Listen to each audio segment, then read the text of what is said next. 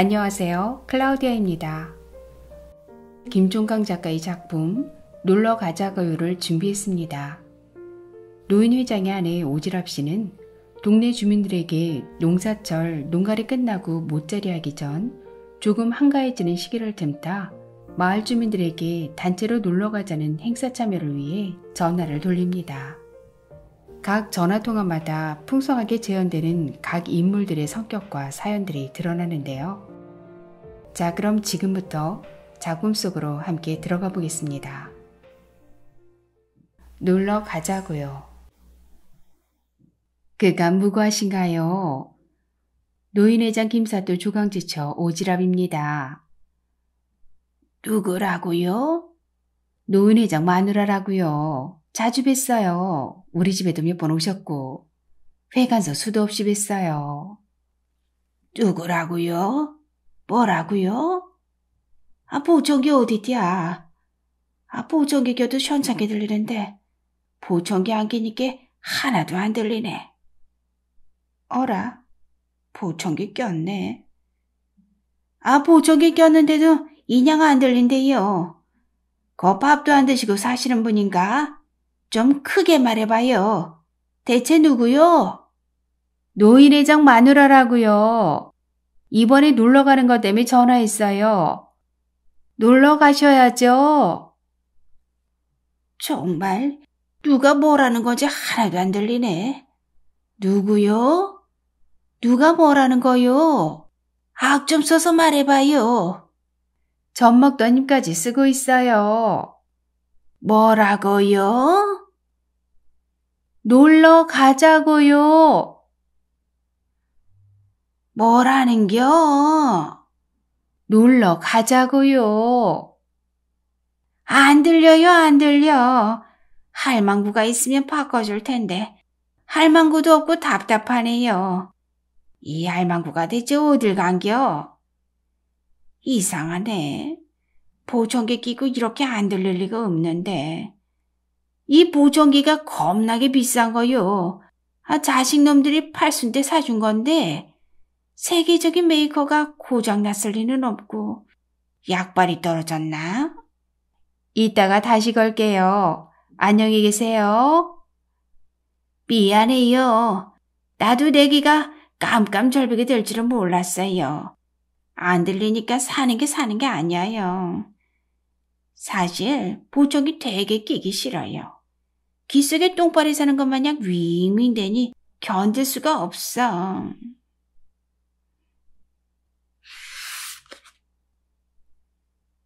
놀러 가자니까 하는 말인데 오지랖 댁은 신동엽이라고 알지? 책도 보고 일기도 쓰는 사람이니까 알 거 아니여. 코미디언이요. 아니 아니 시 썼던 신동엽. 껍데기는 칼하나 뭐라나 썼다는 시인 신동엽이라고 있었디야. 실은 나도 엊그저께까지는 코미디언 신동엽만 알고 시인 신동엽은 몰랐지. 우리 소녀딸 알지? 상큼이 모르는 사람도 있나요? 삼동네에 셋밖에 안 되는 여고생이잖아요. 인사성 바르고 그 정도면 빠지지 않는 미모고 공부도 공부는 못해. 얘가 노는 걸 워낙 밝혔어. 엊그제도 얘가 어디를 놀러 간다는겨. 인연이 놀러 간다고 하면 겁부터 나. 사고 친 게 한두 번인가? 근데 이번에는 그냥 놀러 간 게 아니더라고 글쎄. 신동엽 생가에 사는 신동엽 백일장이 갔었대. 부여터미널 근처에 고 신동엽 씨가 태어난 집이 있대. 거기 신동엽 문학관도 있고 거기서 백일장을 했대. 오지랖 댁은 책 많이 읽고 일기도 틈틈이 쓰니까 백일장이 뭔지 알지? 우리 부랑 늙은 것들은 백일장이 뭔지도 몰라서 한참 설명을 해줘야 했다니까. 히히, 실은 나도 백일장이 뭔지 엊그제 알았지만. 아이고, 민망하네요. 제가 뭐 책을 많이 읽어요. 1년에 두억 원 읽을까 말까. 일기도 한 달에 대출 쓰면 많이 쓰는 거라 쓴다고 할 수도 없어요. 그 정도면 엄청 쓰레 읽고 쓰는 거지. 암튼 내 손녀딸이 그 백일장에서 은상을 탔지 뭐야. 우리 불악서 내가 80년을 사는 동안 글 써서 상탄 사람은 처음 봤어. 옛날로 치면 이게 장원급제나 다름없다면서? 장원급제가 뭔지 알지? 우와, 우리 상큼이가 큰일 했네요. 상큼이가 그런 글재주가 있었네요. 동상도 아니고 은상을 타다니요. 델성 부른 입은 떡잎부터 한다고 나중에 책 쓰는 사람 되겠네요. 에이구, 이제야 말이 통하는 사람을 만났네. 우리 부락에서는 내가 아무리 자랑질을 해도 알아듣는 사람 있어야지. 책도 모르고 글도 모르고 백일장도 모르고 아무것도 모르니 무슨 말이 통해. 촌놈들이 글 쓰면 백 올른다는 소리는 어디서 추어 들어가지고 축하는 못해줄 망정 글 같은 거 못 쓰게 하라고 초치는 소리는 해대고 말이야. 우리 상금이를 진심으로 축하해주는 놈이 하나도 없네. 축하는 안 해줘도 좋은데 이것들이 믿지를 않더라고. 상금이가 상장에다 상금까지 받아왔는데 돈으로 안 받고 도서 상품권이라는 것으로 받아왔어. 나한테도 기념으로 한 장 줬는데 내가 그 만원짜리 도서 상품권을 증거로 보여주니까 비로소 믿더라고. 상큼이 말을 들어보니까 주말마다 놀러만 다닌 게 아니라 알바도 뛰고 백일장도 다녔대. 한 번도 상을 못 타서 창피해서 얘기를 못 했었대. 이번엔 처음으로 상을 타서 당당하게 밝히는 거래. 아이고, 이 못난 놈아. 이렇게 자랑스러운 딸을 안고 왜 죽은겨? 아이고 잘난 며느리냐나 어디서 안 주고 목숨은 푸지않아 모르겠다. 내 딸년 우리가 보란 듯이 잘 키우고 있다. 에휴. 아이고, 아이고 미안해 오지랖대. 내가 너무 좋아서 말이 끊어지지를 않네. 좋은 소식은 나눠야죠. 그렇지. 근데 우리 상큼이가 참 기특해. 뭘 썼냐니께 할아버지 할머니가 자기를 예쁘게 잘 길러준 얘기를 솔직하게 썼대. 할아버지 할머니 고맙습니다 라는 얘기를 썼대. 우리는 상큼이가 저만 알고 키워주는 공은 꿈에서도 모르는 싹수머리 없는 년인 줄 알았거든. 상큼이가 그리 속이 깊은 줄 누가 알았겠나. 나중에 상큼이가 쓴 글이 책으로 나온대. 자기 것만 나오는 게 아니라 상단 애들 거 다 나온다지만 내가 아무리 돈이 없어도 그 책을 한 100권은 사서 쫙 뿌릴 테야. 오지랖 대한테는 1등으로 줄게. 아이고, 나는 생전 처음 알았어. 너무 좋아도 눈물이 철철 난다는 걸. 좋은 일이 있어 봤어야 알지. 자꾸만 눈물이 나.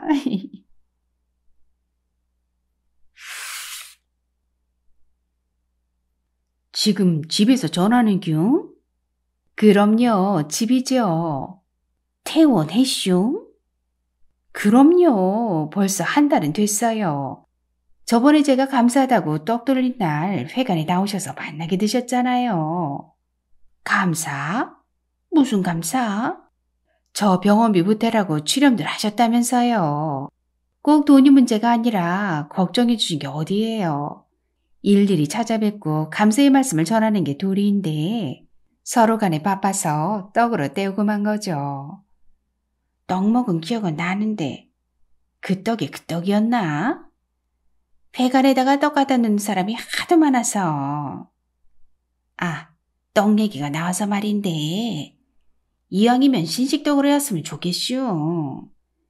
하나씩 비닐로 싸서 까먹기 좋고 보관하기 좋은 거. 떡은 떡이고 되게 미안시룡. 문병 간다 간다 하고 결국에 못 가고 말았숑. 요새는 교통이 발달해서 마음만 있었으면 못 갔을까. 에휴, 내가 마음이 부족해요. 죽을 때가 가까워서 그런지 부쩍 미안해요. 자식 새끼들한테도 미안하고 동네 사람들한테도 미안하고 딱 한 인간 먼저 골로간 남편한테는 하나도 안 미안해.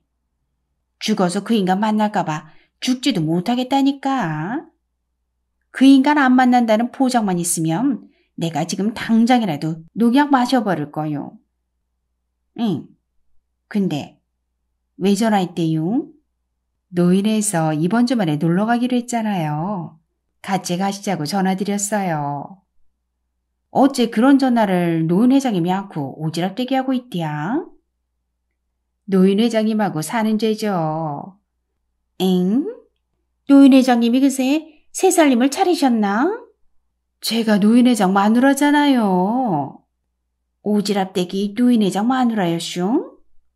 그럼요. 40년째 같이 살고 있어요. 노인 회장님 성격이 엄청 불같던데. 저번에 싸우는 거 보니까 장난하게 무섭더라고. 그럼 무서운 사람이랑 어떻게 살아요? 지금은 싸우는 것도 아니에요. 옛날에는 말도 못했어요.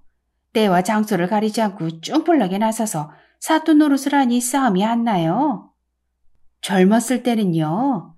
빛을 가반하면 집에 못 들어오는 줄 알았다니까요. 오메나 그런 사람이랑 어떻게 살았슈? 나처럼 남편을 확 잡고 살아도 속상한 게 많은 법인데. 아유, 이제는 늙어서 점잖아요. 놀러 가실 수 있는 거죠? 언제 가는 중? 이번 주말이라고요. 일요일. 그날 자식들이 죄오기로 했는데 내 생일이어서 밥 사준다고 온대요. 밥을 토요일에 안 먹고 일요일에 자셔요. 토요일에는 사돈의 결혼식이 있쇼.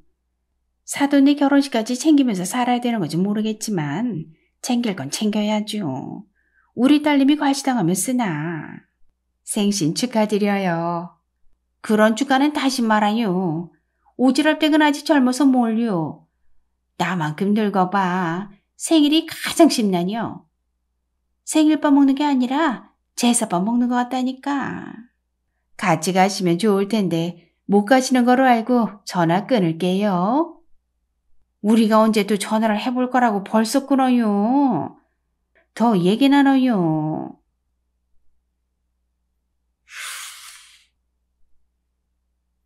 아니요, 못합니다.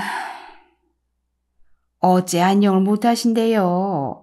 두 분 다 건강하시고 자식들도 다 잘 나가시고. 한 달 전까지는 그랬죠. 무슨 일 있으셨어요? 말도 말아요. 폭삭 망했어요. 알고 보니까 둘째 놈 사업이 쫄딱 망해버린 지 석삼년이더라고. 그것도 모르고 우리 아들놈 사장님이라고 동네방네 자랑하고 다녔으니 부끄러워서 살 수가 없네. 알고 봤더니 둘째 놈이 저 혼자 망한 게 아닙디다. 교수 형 돈, 의사 누나 돈, 변호사 동생 돈, 복부인 장모 돈 싹 끌어다가 다 때려박았더라고. 저희들끼리 6.25 저리 가게 싸운 모양이요. 둘째 놈이 한 번만 더 도와달라고 눈 마시고 선산이고 싹 팔아달라고 조르는데 다른 놈들이 가만히 있겠어요. 내 앞에서 지들끼리 지랄 연병들을 해야 되는데 아, 참 가관입디다. 아이고, 마나님은 어쩌시다가. 자식들 그 꼬라지를 보고 어떤 옆에 내가 제정신이겠어요. 나까지 지랄 연병으로 날뛰니까 훅 가버립디다. 병원에 누워있어요. 안 아픈 데가 없이 다 아프다는데 의사는 특별히 아픈 데를 못 찾겠대요.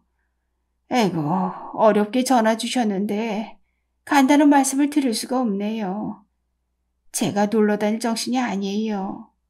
아유, 어쩔 거나.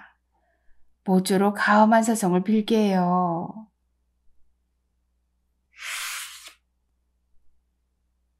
기어이 놀러 가는 거구만. 해마다 놀러 갔잖아요. 뭐 따라 놀러 가냐고. 놀러 가봤자 다들 다리 아프다, 허리 아프다 해서 구경 다닐 염도 못 내고 버스에서만 죽 때리잖아. 그니까 버스 타러 가는 거잖아. 그 돈이 얼마냐고. 돈을 건설적으로 써야지. 노인의 이름으로다가 불우이웃돕게 성금이라도 내면 좋잖아. 아픈 애들 병원비로 보내도 좋고 아프리카 같은 데는 굶고 사는 애들이 태반이라던데 거기 밥값으로 보내도 좋고 그 북한만 안 보내면 돼. 게다가 동사철이잖아. 젊은 사람들 농사 짓느라고 쎄 빠지는데 나이 먹어서 아무것도 못하게 된 거 자랑질 다니자는 거야? 우리 회장님도 놀러 다니는 거 싫어해요. 꼭 가야 된다고 하시는 분들이 더 많으니까. 그렇다니까. 저번 회의 때 나만 놀러 가는 거 반대했다니까. 곧 죽어도 놀러는 가야 한다는 거지. 우리 젊었을 때는 놀러 가는 게 의미도 고 보람도 있었어. 촌놈들이 1년에 딱 한번때 빼고 광내고 유흥을 즐기다 오면 침묵도무를 넘어 보람상력까지 되었어. 헤잉, 하지만 지금은 아니야. 놀러 다닐 만큼 다녔잖아. 아주머니도 안 다니도 없잖아. 그만큼 놀았으면 됐지. 꼭 땅속에 묻힐 것들이 기어코 놀러 가야겠다니. 아이고, 어이가 없어, 어이가. 8, 90 노인네들이 버르적버르적 기어다니는 거 보고 뭐라고 하겠어. 단체로 고려 정 왔나 그럴 거 아니야. 이번에 가는 데는 버스에서 서른 발짝만 걸으면 된대요. 서른 발짝은 짧나? 열 발짝 하는데 반 시간도 더 걸리는 노인네들 천주구만. 농사철에 일정 잡았다고 걱정하셨는데요. 노인분들이 농사철 아니면 움직이기 어려운 것도 사실이잖아요. 추우면 추워서 안 되고 더우면 더워서 안 되고 먼지 많아도 안 되고 바람 많이 불어도 안 되고 비 맞아도 안 되고 딱 이맘때밖에 없어요. 괜히 옛날부터 4월에 놀러 가는 게 아니라고요. 석가모니 부처님도 하필이면 4월 초바일에 딱 먼저 태어나신 것도 다 까닭이 있다고요. 농사철 중에도 농가리 끝나고 모짜리 하기 전에 좀 한가잖아요. 그래서 딱 그때로 정한 거라고요. 그것도 회장이 먼저 정한 게 아니고 회의에서 여러분이 정한 거라고요. 그게 회의인가? 회장 혼자 안건 내고 의견 내고 결론 내고 나머지는 찬성 소병만 치잖아. 북한 김씨 왕자하고 다르게 뭐여? 내가 하는 말은 들은 척도 않고 민희의 기본이 안 돼 있어. 회장님이 독반 치려고 하는 게 아니라 지방방송은 그렇게 잘 트시는 분들이 멍석 깔아주면 꿀먹은 벙어리가 되니까 그래서 어쩔 수 없이 총대를 매는 거죠. 아따 남편이랍시고 대우감싸네. 열려놨구먼. 홍살은 세워야겠어. 영감님은 어려우실 것 같고 마나님은요? 마나님 안 계세요? 나랑 같은 생각이요. 마나님은 가지고 싶을 수도 있잖아요. 내 마누라는 생각이라는 게 없어. 내 생각이 그 사람 생각이요. 안 가. 못 가. 우리만 안 가는 걸 다행으로 알아. 내가 소시적 성질대로라면 관광버스 앞에 들어놓았을 거야. 다 못 가게. 소시적 성깔로 따지면 우리 남편이 더하죠. 감당되시겠어요? 아이고, 깜빡했네. 연료 아줌마, 계속 수고하셔.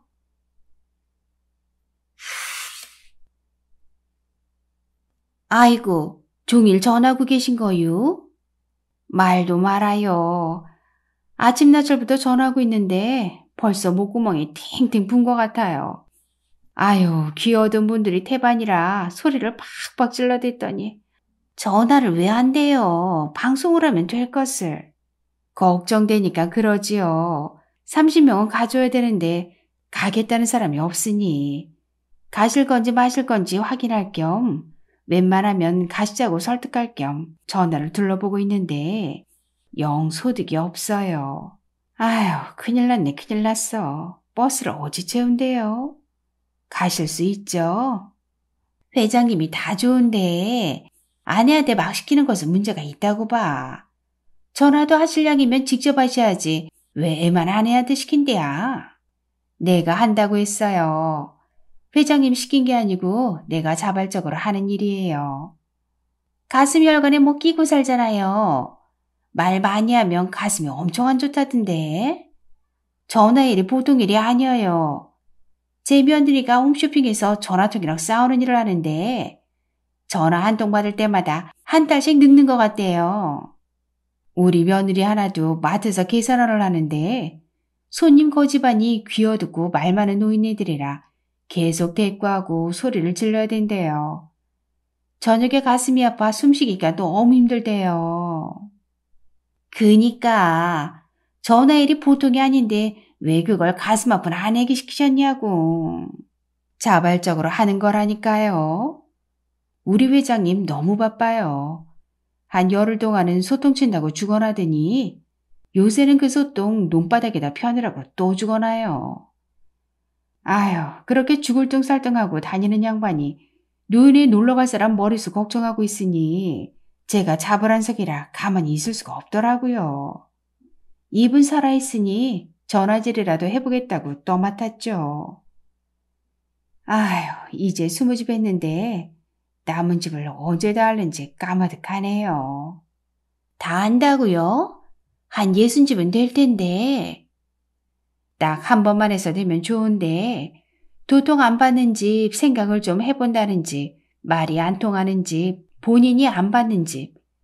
이런 데는 다시 걸어야 하니까 백 번은 더 하겠죠. 대충 하세요. 그게 무슨 사소고생이에요. 전화 같은 거 안 해도 갈 사람은 가고 못 갈 사람은 못 간다니까요. 이왕 시작한 일이니 최선을 다해야지요. 아유, 못 말려요, 못 말려. 그래서 가실 거죠? 노인네 말 잔뜩 시키고 못 간다고 하면 그게 사람이에요. 갈게요. 저는 하늘이 무너져도 놀러 가요.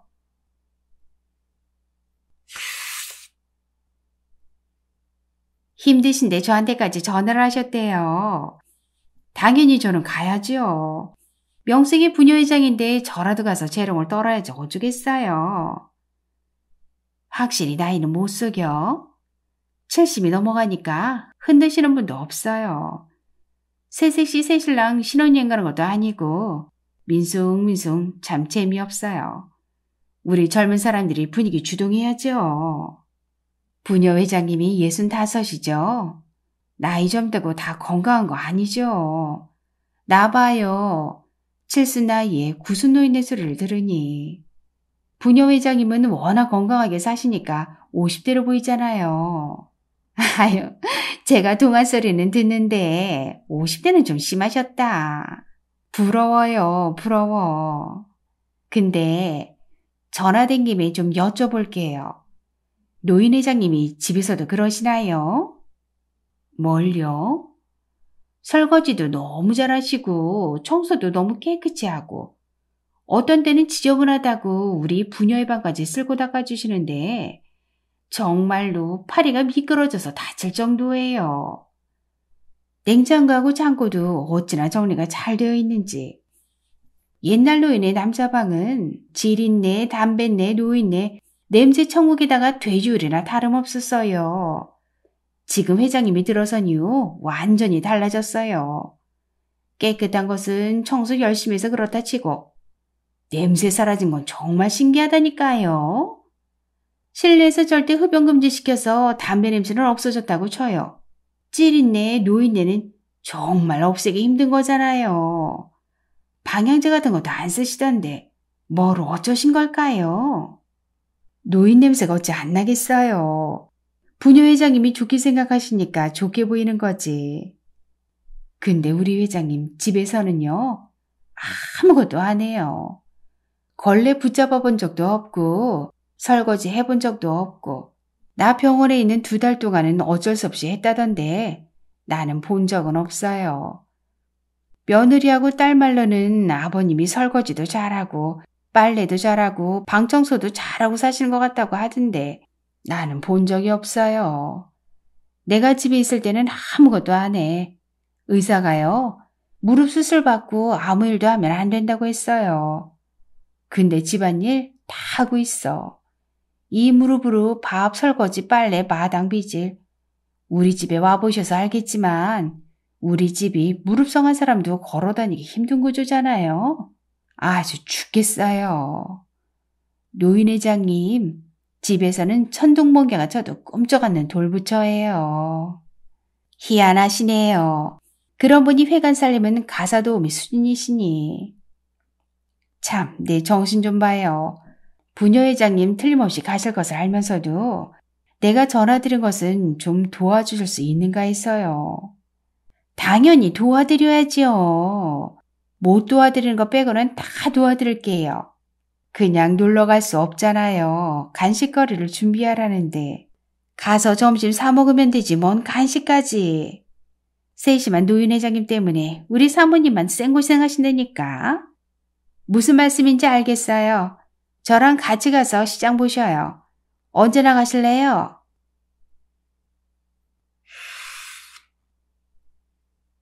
내 국민학교 동장 오지랖 여사니시여. 55년 전 첫사랑한테 전화를 다 하셨네.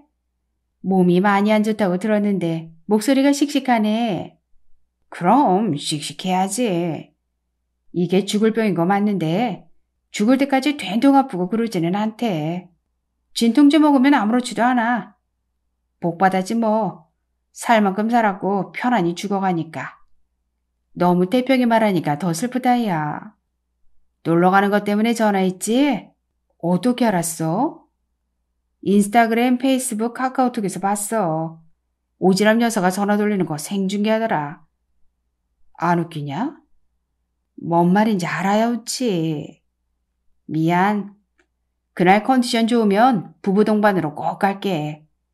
나는 못 가더라도 마누라는 꼭 보낼게.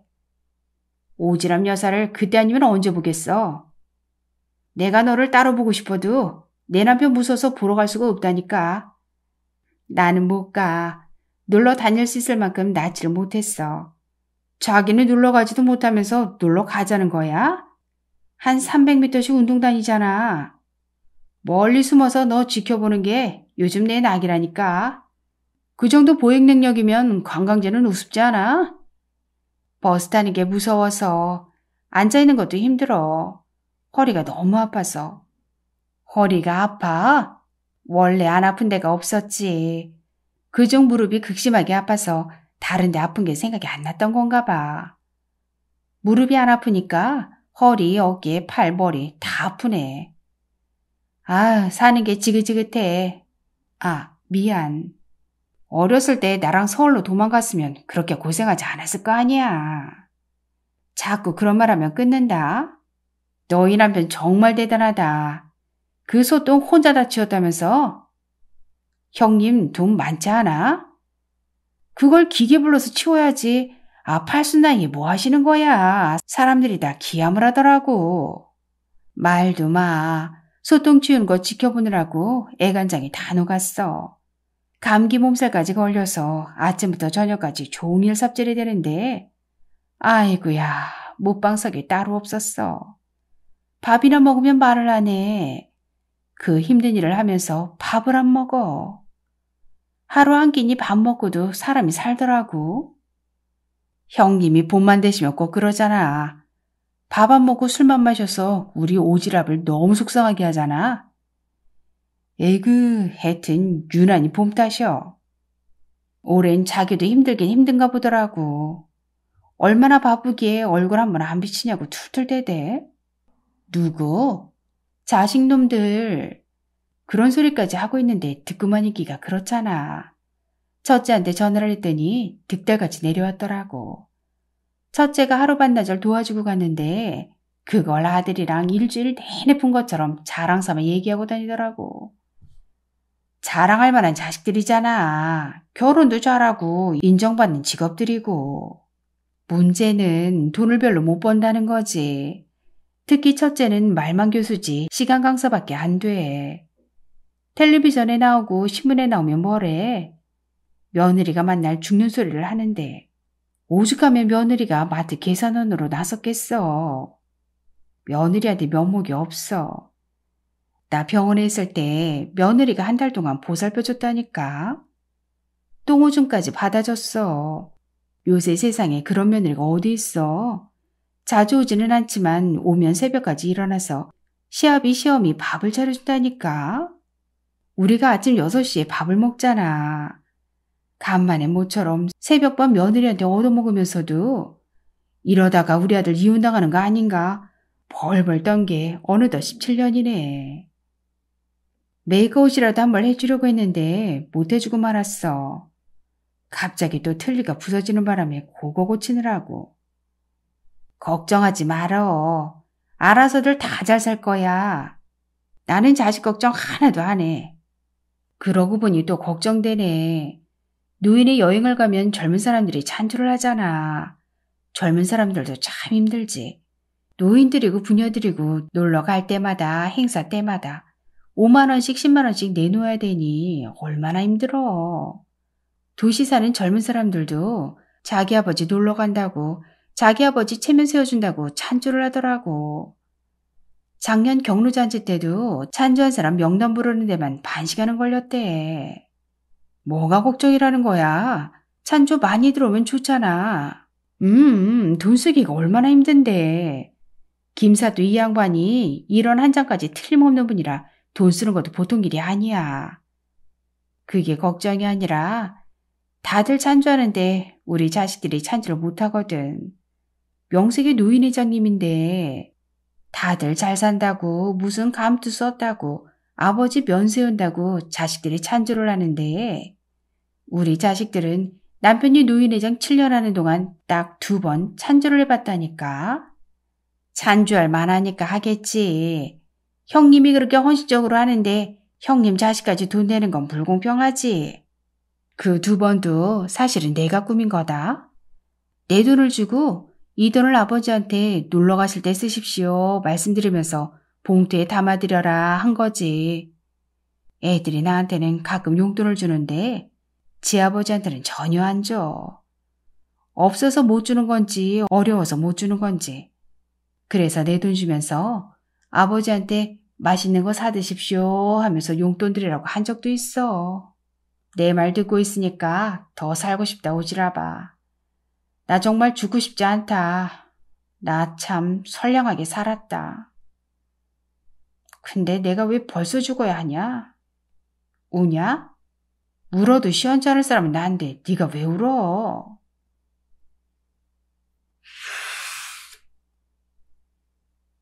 어제 조공장님을 뵈었네. 저승에서도 유유자적 잘 살고 계시더군. 조공장님이 오지랖댁을 특히 예뻐셨지? 저만 예뻐했나요? 다 예뻐했지. 저도 텔레비전에 희한한 제주 진인분들 나오면 조 공장님부터 떠올라요. 참말로 감쪽같이 잘 깎았어요. 자네를 편애했어. 다른 여편네한테 하나 줄 때 자네한테는 서너 개씩 줬잖아. 나한테는 수수비만 주고 자네한테는 쌀이 위에 대비까지 엮어줬잖아. 하기는 자네가 예쁜 짓을 했어.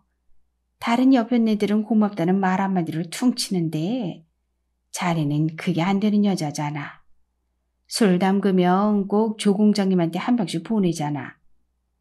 정자나무 밑에서 안주도 없이 술 들고 계시면 아무도 안 쳐다보는데 자네는 국수라도 말아서 내갔잖아. 우리 아버지하고 동문수학하셨고 저한테는 아버지나 다름없는 분이셨으니까요. 조 공장님이 만들어준 거 혹시 남아있는 거 있나? 버리지 마. 나중에 알아. 진품 명품에 나올지. 진품 명품식이나. 그래도 혹시 몰라 다식반 하나는 잘 챙겨뒀어요. 조 공장님은 그 귀한 재주를 갖고 왜 평생을 총구석에서 썩었을까요? 그런 분이 공부했으면 텔레비전 막 나오는 박사가 되고도 남았을 테지요. 누구는 안 그런가? 우리 남편 내 남편 할 것 없이 부자 부모 밑에서 잘 배웠으면 이런 총구석에서 동선을 지었겠어. 우리 옆편 애들은 또 어떻고? 우리도 도시에서 태어나 교육받았으면 이렇게 살지 않았을 거라고. 신여성이 별건가? 맞아요. 촌사람은 다 억울해요. 진정원에서 평생 농사꾼으로 사니가 몇이나 되겠어요. 다들 불쌍해요. 가진 재주가 뭔지 알아도 못하고 언니 재주는 뭐였어요? 재주 같은 게 있었기는 했나. 글쎄, 이것도 재주인지 모르겠는데 내가 귀신을 잘 봐. 저도 꿈속에서 많이 봐요. 심하게 많이 볼 때는 눈 감기가 두렵다니까요. 나는 꿈에서 보는 정도가 아니여. 꿈에서 귀신들하고 한참을 떠든다니까. 요새 만난 귀신 중에는 서면장이 참 억울해 하더만. 억울하고도 남지. 나 같은 골골도 80을 살았는데 그 풍채 좋은 사람이 60도 못 넘기다니. 그 고생을 해서 면장까지 되었는데 면장 노릇도 못 해보고, 에.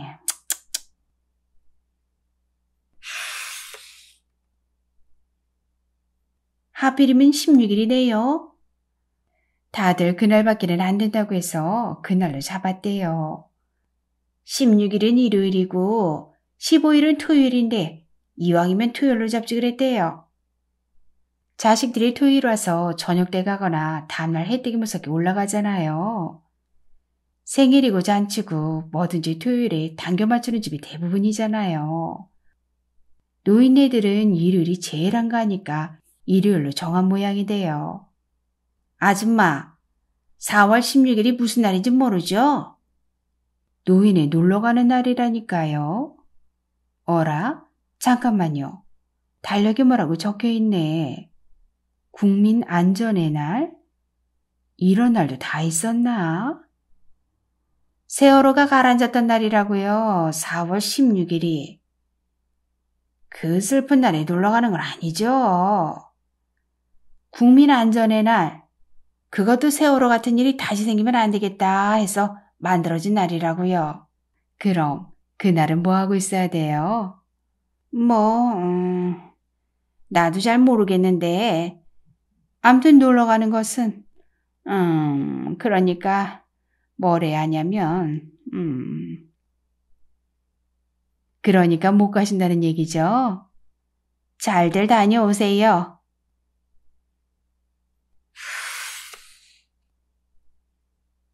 왕따한테도 전화를 했네. 집이 아니신가 보네요. 시끌벅적한 게. 우리 동네에서는 나랑 놀아주는 것들이 없어서 내가 중원이 경로당으로 코스도 원정을 왔네. 중원 인연들 텃세 장난 아니야.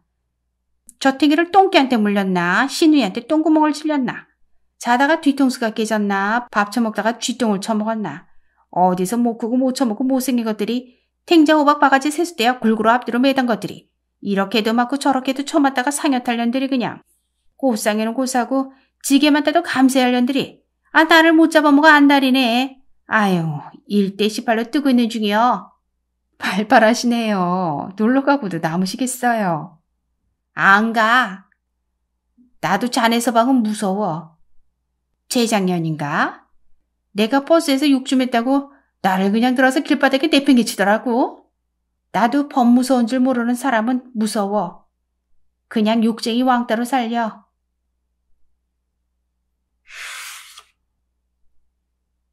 농약에 대해서 좀 알아? 평생 냄새만 맡았지 잘 몰라요. 나도 그래. 어떤 건 한 방에 훅 가지만 어떤 건 되게 고생한데. 어떤 건 재수없이 목구멍이랑 내장이랑 창자랑 다 따고 목숨은 안 끊어진대. 농약병 뚜껑 색깔이 네 가지나 있네. 평생 농촌 살고 처음 봐. 농약은 서방이 해줬거든. 서방 죽은 뒤엔 아들놈이 해줬고. 아들놈이 올 때까지 기다릴 수가 없어. 분홍색, 녹색, 황색, 청색. 이 중에 어느 색깔이 살충제일까? 아무래도 살충제가 마시자마자 가는 거겠지? 아이고, 무섭게 왜 그러셔요? 오지랖댁은 그 나이 먹고도 무서운 게 많은가 봐. 성님, 제발 농약은 건드리지 마셔요. 가더라도 깨끗하게 가야죠. 이왕 살았는데 살 때까지는 계속 살아야죠.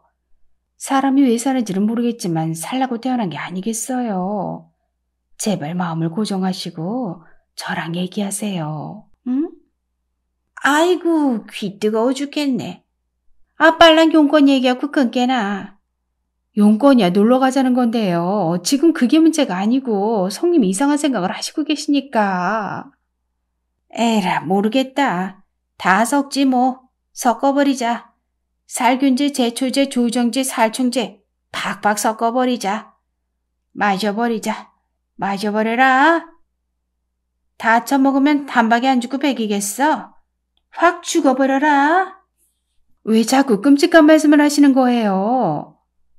선불 맞은 멧돼지보다 더 끔찍한 놈이 단박에 안 죽는 농약 맞은 멧돼지래.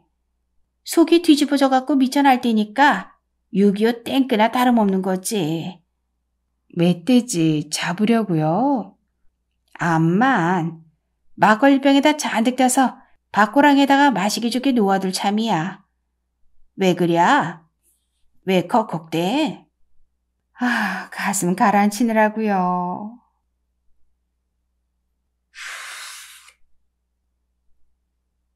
뭐요? 우리 아버지 전화하고 있었어? 이리 줘봐. 안녕하세요. 저는 우리 아버지 딸인데요. 무슨 일로 전화하셨는지 몰라도 아버님이 거시기가 거시기 하셔서 오락가락 하셔요. 요새는 옛날에 호랑이 새끼 잡았던 얘기만 계속 하시고 그래요. 참말로 호랑이 새끼를 잡았었단 말이에요. 참말인지 거짓말인지는 모르겠는데 신문에는 나왔었지요. 코팅한 옛날 신문이 벽에 갑으로 붙어 있는 걸요.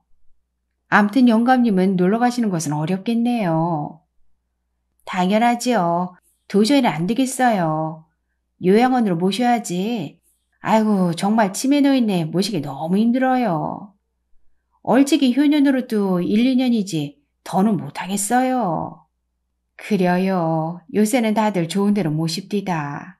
그죠? 저 나쁜 년 아니죠? 그럼요. 누가 나빠. 1, 2년 모신 것만으로도 효녀 중에 효녀네요. 에 그런데 왜 자꾸 죄스러운 걸까요?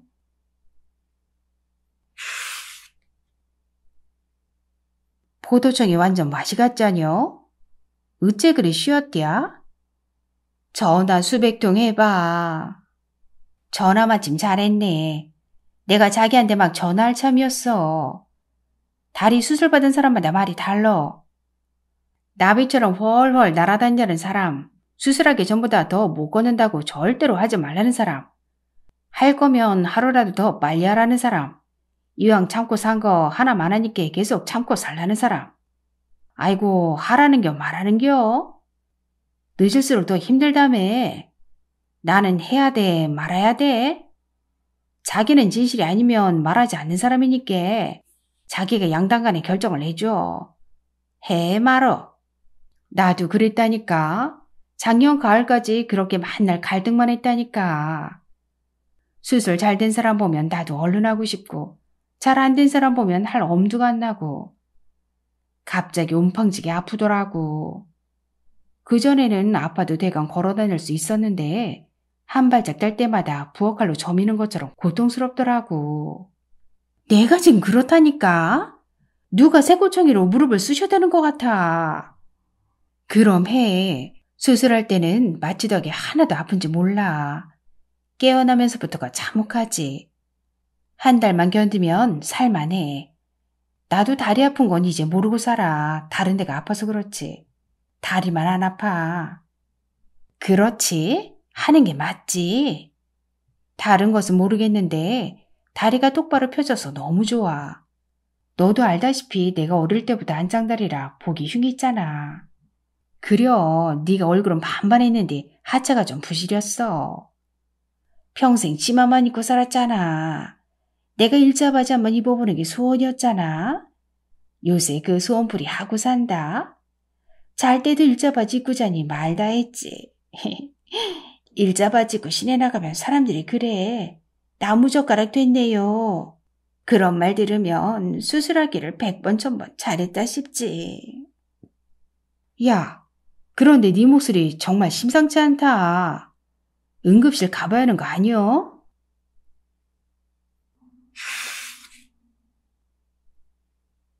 뭐, 달, 뭐 같은 옆였네.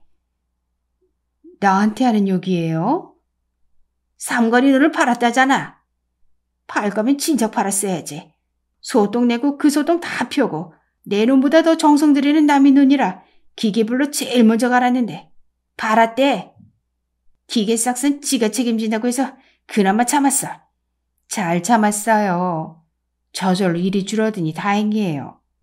이젠 좀 쉬엄쉬엄 살아요. 철없는 소리 작작하고 자빠졌다. 뭐 먹고 살래? 자식놈들이 손 안 벌리는 건 다행이다만 한 달에 2, 30이라도 따박따박 입금하는 놈이 없는데 어찌 살래? 시제담 내놓고 농공단지 삽들면 우리 노는 꼴랑 두 마지기 남는다고. 이때 뒤엔 우리 먹을 살도 없다고. 소도 다 키웠고 내 눈도 없고 소작 지을 눈도 없고 손가락 빨면서 살래? 너 무릎 고치는데 때려박은 돈이 어떤 돈인 줄 알아? 나가고 너 혼자 자식들 눈치 보지 말고 잘 살려고 모아놓은 돈이었다고. 그 돈 다시 마련하기 전에는 내가 눈을 못 감아.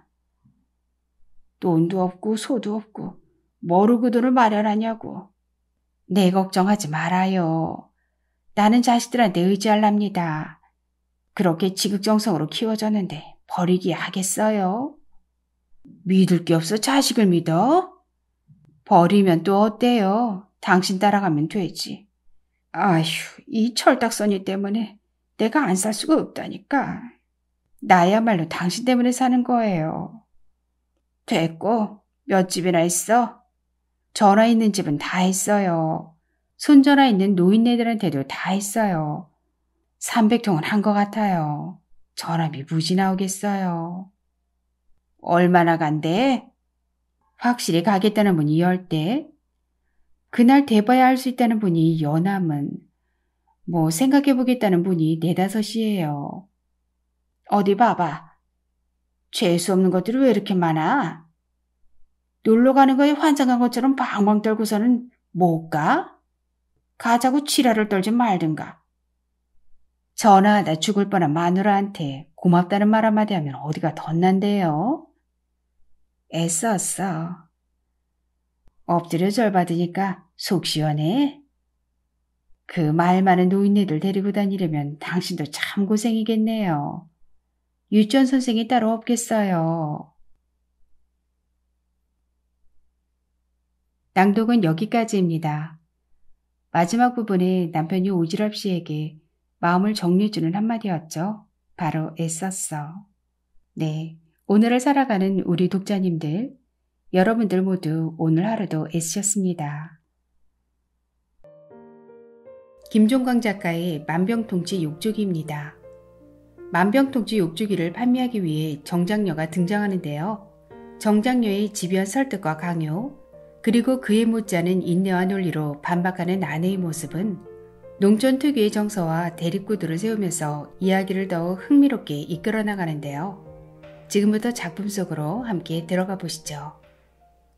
만병통치 욕조기 혼인의 칠순 팔순 잔치에 초상에 왜 이리 그냥 오라는 데가 많고 가야 할 때도 많은지 정신이 없다 야. 부조봉투 들고 다니다 겨울 다 갔다. 이번 주에도 조상집이 둘이나 있었다 야. 신기하지? 둘 다 목숨을 매달았어 야. 요새 세상에 누가 자살한다고 뉴스거리나 되겠냐? 제일 높은 사람, 제일 유명한 사람도 막 자살해버리는데. 현짝에 늙은 초목숨 세상 등졌다고 무슨 말거리가 되겠냐. 근데 시골 아니냐. 죽을 나이가 돼서 죽은 것도 아니오. 무슨 사고나 병으로 죽은 것도 아니오. 자살로 죽었다면 동네 사람들 뒤숭숭하지. 어머니는 신나는 낯걸로 자분자분 주워 섬겼다. 나는 한 해 연암은 차례 얼굴을 비추는 것으로 자식의 도리를 다했다. 큰 병원에 입원할 정도로 편찮을 때나 자주 뵙지 건강하고 안녕할 때는 도통 뵙지를 못하는 어버이였다. 무뚝뚝한 아버지는 저녁을 뜨는 동 마는 동하고 안채로 건너갔다. 아내가 요란한 설거지를 마치고 과일상을 보았다. 나 역시 부침성이 없고 덤덤한 편이다. 간만에 뵌 어머니께 살가운 말 한 자락을 붙이지 못했다. 어버이를 뵈면 항상 궁금한 게 샘솟는 척 해주는 아내가 고마웠다.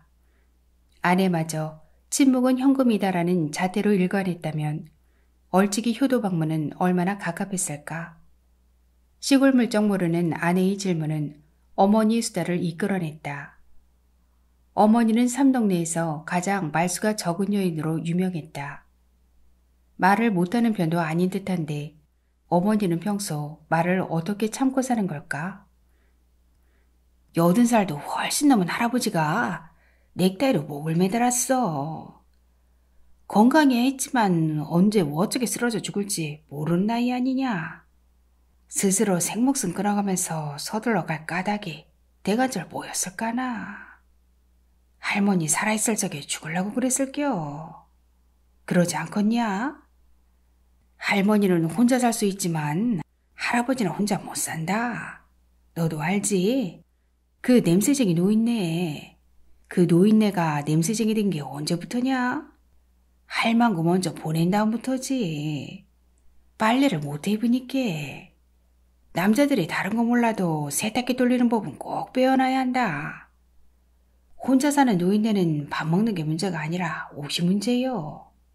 다른 건 몰라도 너희 아버지 세탁기 돌리는 건 꼭 가르쳐놔야 되는데. 어머니도 참 별 말씀을 다 하셔요. 그래도 그 할아버지는 자기 집에서 돌아가셨긴 하지. 너희 아버지 동창부는 이제 나이도 일은 하나밖에 안 됐는데 아이고 참 말하기도 겁난다만 연고도 없는 산에 올라가서 소나무인가 참나무인가에 혁대로 목을 맺지 뭐냐. 그분이 노하다꾼이요. 나는 여직도 너희 아버지한테 용돈을 다 쓴다만 그분은 돈을 버는 족족 마누라한테 바치고 지우차비나 다 썼다더라. 니들도 그러지? 그럼요. 저는 돈을 관리할 줄 모르잖아요. 당연히 그래야지. 애미가 착실히 관리했으니까 그나마 내가 아빠한테 전세라도 사는겨. 애미야, 장하다. 그분이 요번에도 겨울에 골프장이가 짓는 데서 몇백만 원인가를 벌어갖고 왔단 말이오 그런데 그분이 생전 안 하던 짓을 왜 했을까나? 백만 원도 아니고 딱 80만 원만 달랬다더라. 아줌마가 물었을 거 아니냐. 뭐 있으려는 거냐고. 아저씨가 그랬디야. 이날 이때까지 내가 본돈내 마음대로 써본 적이 없다. 한 번만이라도 내 유량껏 써보고 싶다. 당신 속상하게 쓸 일은 없으니 걱정 매도 된다. 계집이라도 생겼냐고? 가짜는 말좀 하지 마라. 이 나이에 계집질이 가당키나 하냐. 그냥 내 마음대로 써보고 싶은 거 말고 다른 거 없다. 아이고, 나 같으면 80만 원이 아니라 다 줬을겨. 실수 노인네가 그런 말 하는데 짠해서라도 그냥 다 줬을겨. 그런데 그 아줌마는 지금 돈 들어갈 때가 한두 군데냐, 벌어도 벌어도 끝이 없는데 어떻게 된 양반이 쓸 생각만 하느냐. 밥 잘 먹고 테레비 스카이 달아서 화면 100개짜리 나오니 볼 것도 셌다. 술? 내가 언제 술안준 적이 있냐? 당신이 소주 생각난다고 하면 슈퍼까지 한달음에 달려갔다 왔다. 도대체 어디다 따로 쓸 돈이 필요하다는 건지 참말로 모르겠다. 막 이러면서 겁나게 잔소리를 했다더라. 찻소리가 나고 곧 큰 목소리가 들이닥쳤다. 저요, 저 왔쇼. 어머니가 화들짝 놀라며 맞으러 나갔다. 아이고, 진짜로 왔네? 올 필요 없다는데 왜 왔어? 왔으니까 어서 들어와. 애들한테 아무 말도 안 해놨는데 참 당황스럽구먼. 두 여자가 부산스럽게 들어왔다. 한 볼은 집안 행사 때마다 늘 뵙는 먼 친척 아주머니였다. 농촌에서 흔히 볼 수 있는 일찍 늙은 얼굴에 어머니처럼 호줄근한 입성이었다. 동반한 여자는 40대 중후반으로 히디흰 셔츠에 검은색 투피스 정장 차림이었다. 농촌에서 보기 힘든 화장발에 세련되고 날렵한 입성이었다. 두 여자는 시골 고양이와 도시 고양이처럼 안 어울려 보였다. 아내와 나는 엉거주춤 인사를 드렸다. 텔레비전 예능 프로그램 런닝맨에 푹 빠졌던 아들 녀석은 손님들을 쳐다보지도 않았다. 녀석의 머리통을 툭 건드리며 인사드려야지 했다. 녀석은 아이씨 할 뿐 화면에서 눈을 떼지 않았다. 좋게 말하면 숫기가 없고 나쁘게 말하면 버르장머리가 없다. 반도나 밖에 있는 게 내 차지. 차 좋더라이야. 저게 준 중형이란 거냐? 자뭐 비싼 차지. 아이고 하는 일도 다 잘 되고 돈도 많이 벌고 완전 승승장구라면서 축하한다 축하해. 너는 소문난 효자니께 계속 잘 나갈게요. 아주머니의 난데없는 축하에 얼굴이 화끈 달아올랐다. 비싸죠. 36개월 할부예요. 어머니, 며느리 참 잘 얻었어요. 이물 참하지, 키 크지, 내주 잘하지. 시부모님 잘 챙기지. 어디서 이런 우렁각시가 굴러 들어왔어? 진짜로 다른 거 없어요. 그저 며느리를 잘 얻어야 돼야. 내가 다 고맙네. 우리 판돈이랑 잘 살아줘서. 아주머니는 아내의 손을 덥석 잡아지고 흔들며 덕담을 퍼부었다. 아내는 태어나서 칭찬을 처음 듣는 사람처럼 어쩔 줄 몰라 했다. 아주머니는 아들에게도 덕담을 베풀었다. 아이고, 참 예쁘게도 생겼다. 하며 쓰다듬는 손길을 녀석이 싸가지 없이 탁 쳐냈는데도 하하 웃는 얼굴을 유지했다. 뭐 보냐? 유재석이 나오는 거구나. 나도 저 프로 되게 재미나게 본다. 재밌냐? 대단하네. 몇 살인데 저런 걸 다 즐기냐? 우와, 영어네. 벌써 영어를 잘 잘하는겨. 장기판이네. 너 장기 들 줄 아는갑다. 판돈이 닮아서 머리가 겁나게 좋은 모양이네. 커서 판검사가 될라나 교수가 될라나 뭐가 돼도 훌륭히 되겠다. 녀석은 자기를 추어 올려주는 말에 전혀 반응하지 않았다. 런닝맨 볼 때는 텔레비전에서 나는 소리 외에는 세탁이 돌아가는 거로 여기는 놈이다. 이젠 어머니를 지켜세울 차례인가? 아니었다. 아주머니가 내게 불쑥 물었다. 판토나, 어머니가 어떤 분이신 줄 아냐? 멍청해졌다. 너무나도 갑작스러운 질문이었다. 어머니가 어떤 사람인지 모르는 아들도 있단 말인가. 하지만 나는 정말로 어머니를 안다고 말할 수 있는가. 어머니 유서와도 같은 글을 읽은 적이 있다. 군 복무 시절 휴가 나왔을 때 우연히 어머니 일기장을 발견했다. 이주일에 네댓번 걸로 장갑 공장에서 겪은 얘기, 아버지 때문에 속상한 얘기, 자식들 때문에 속 터지는 얘기, 농사일과 가축에 관한 얘기. 그런 자잘한 사연이 간결하게 대여섯 줄씩 적혀 있었다. 일기라기보다는 가계부에 가까웠다. 그리고 갑자기 그 글이 나왔다. 왜 죽어버리기로 결심했는지를 줄줄이 써놓은.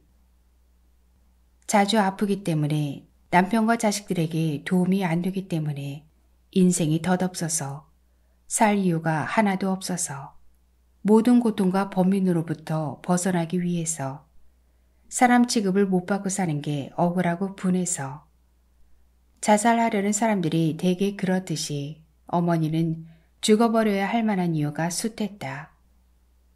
어머니가 야속했다. 군대 간 아들은 개처럼 터지고 모욕받으면서도 죽을 생각을 한 번도 하지 않았는데 왜 엄마가 하지만 어머니 죽어버리고 싶은 마음을 충분히 알 것 같았다. 다행스럽게도 어머니가 그 유서 같은 일기를 쓴 지 다섯 달이나 지나 있었다.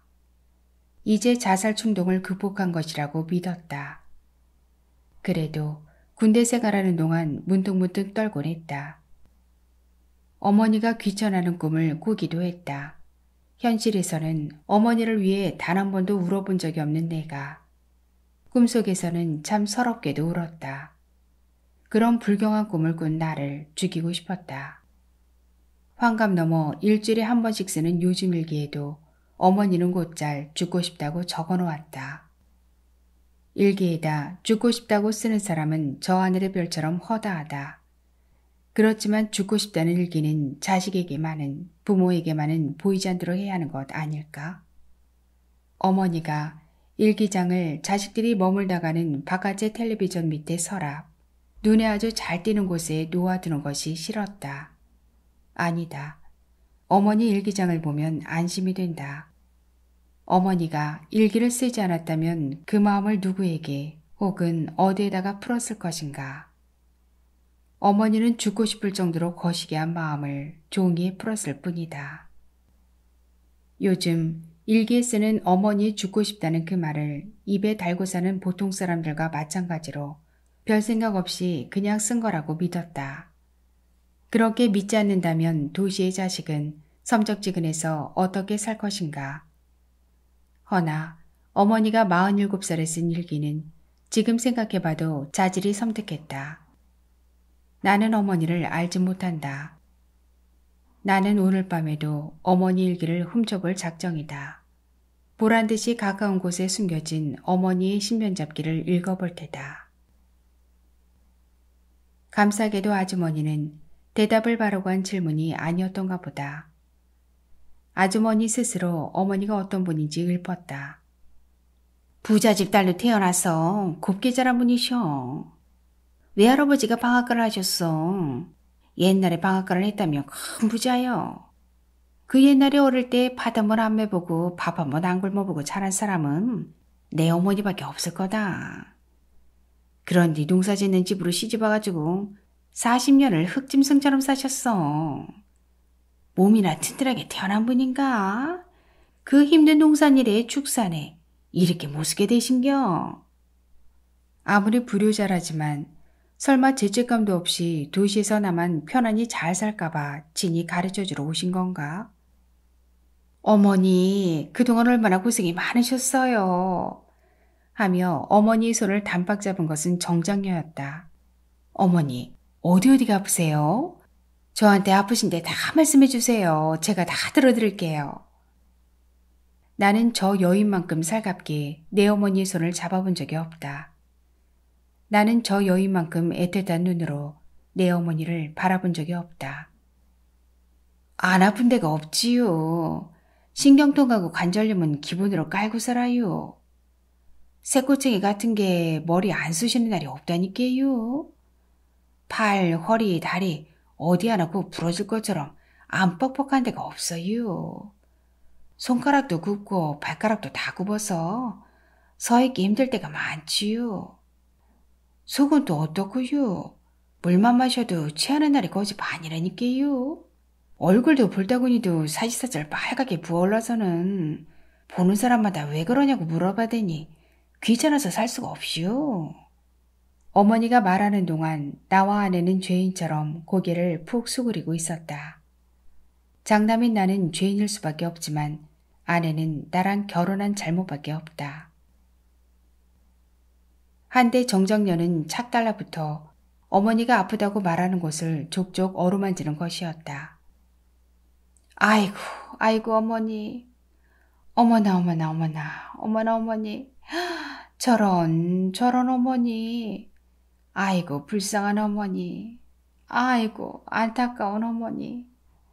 연방 절규하며 선거철에 양론 찾은 정치인이 동영상 찍을 때처럼 곰살궂게 구는 것이었다. 우리만 보기 아까운 참으로 감동적인 드라마의 한 장면이었다. 정장녀는 더는 가슴이 아파서 못 듣겠다는 듯이 어머니를 와라 껴안았다. 그러고는 난데없이 선언했다. 어머니, 이제 걱정 마세요. 제가 왔잖아요. 제가 다 고쳐드릴게요. 저분은 누구시기에 이토록 호언장담 하시는가? 하늘에서 내 어머니를 위해 내려보내준 선녀님이신가? 마음병을 고쳐주는 욕조기가 있어요. 이 사진 좀 보세요. 이게 스파크 반신 욕조기라는 건데 온천의 나라 일본에서도 알아주는 물건이에요. 욕조라기보다는 의류에 가깝다고 해야 할까? 삼성 이건희 회장도 이 제품을 쓴다니까요. 대기업 회장이 쓸 정도면 얼마나 좋은 제품인지 말씀을 따로 안 드려도 아실 거예요. 비로소 긴장이 풀렸다. 정장녀의 정체 혹은 저희를 파악했기 때문이다. 적을 이길 수 있고 없고는 나중 문제다.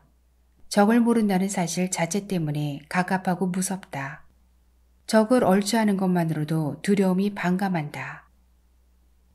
정장녀가 침묵하자 아주머니가 바로 뒤를 이었다.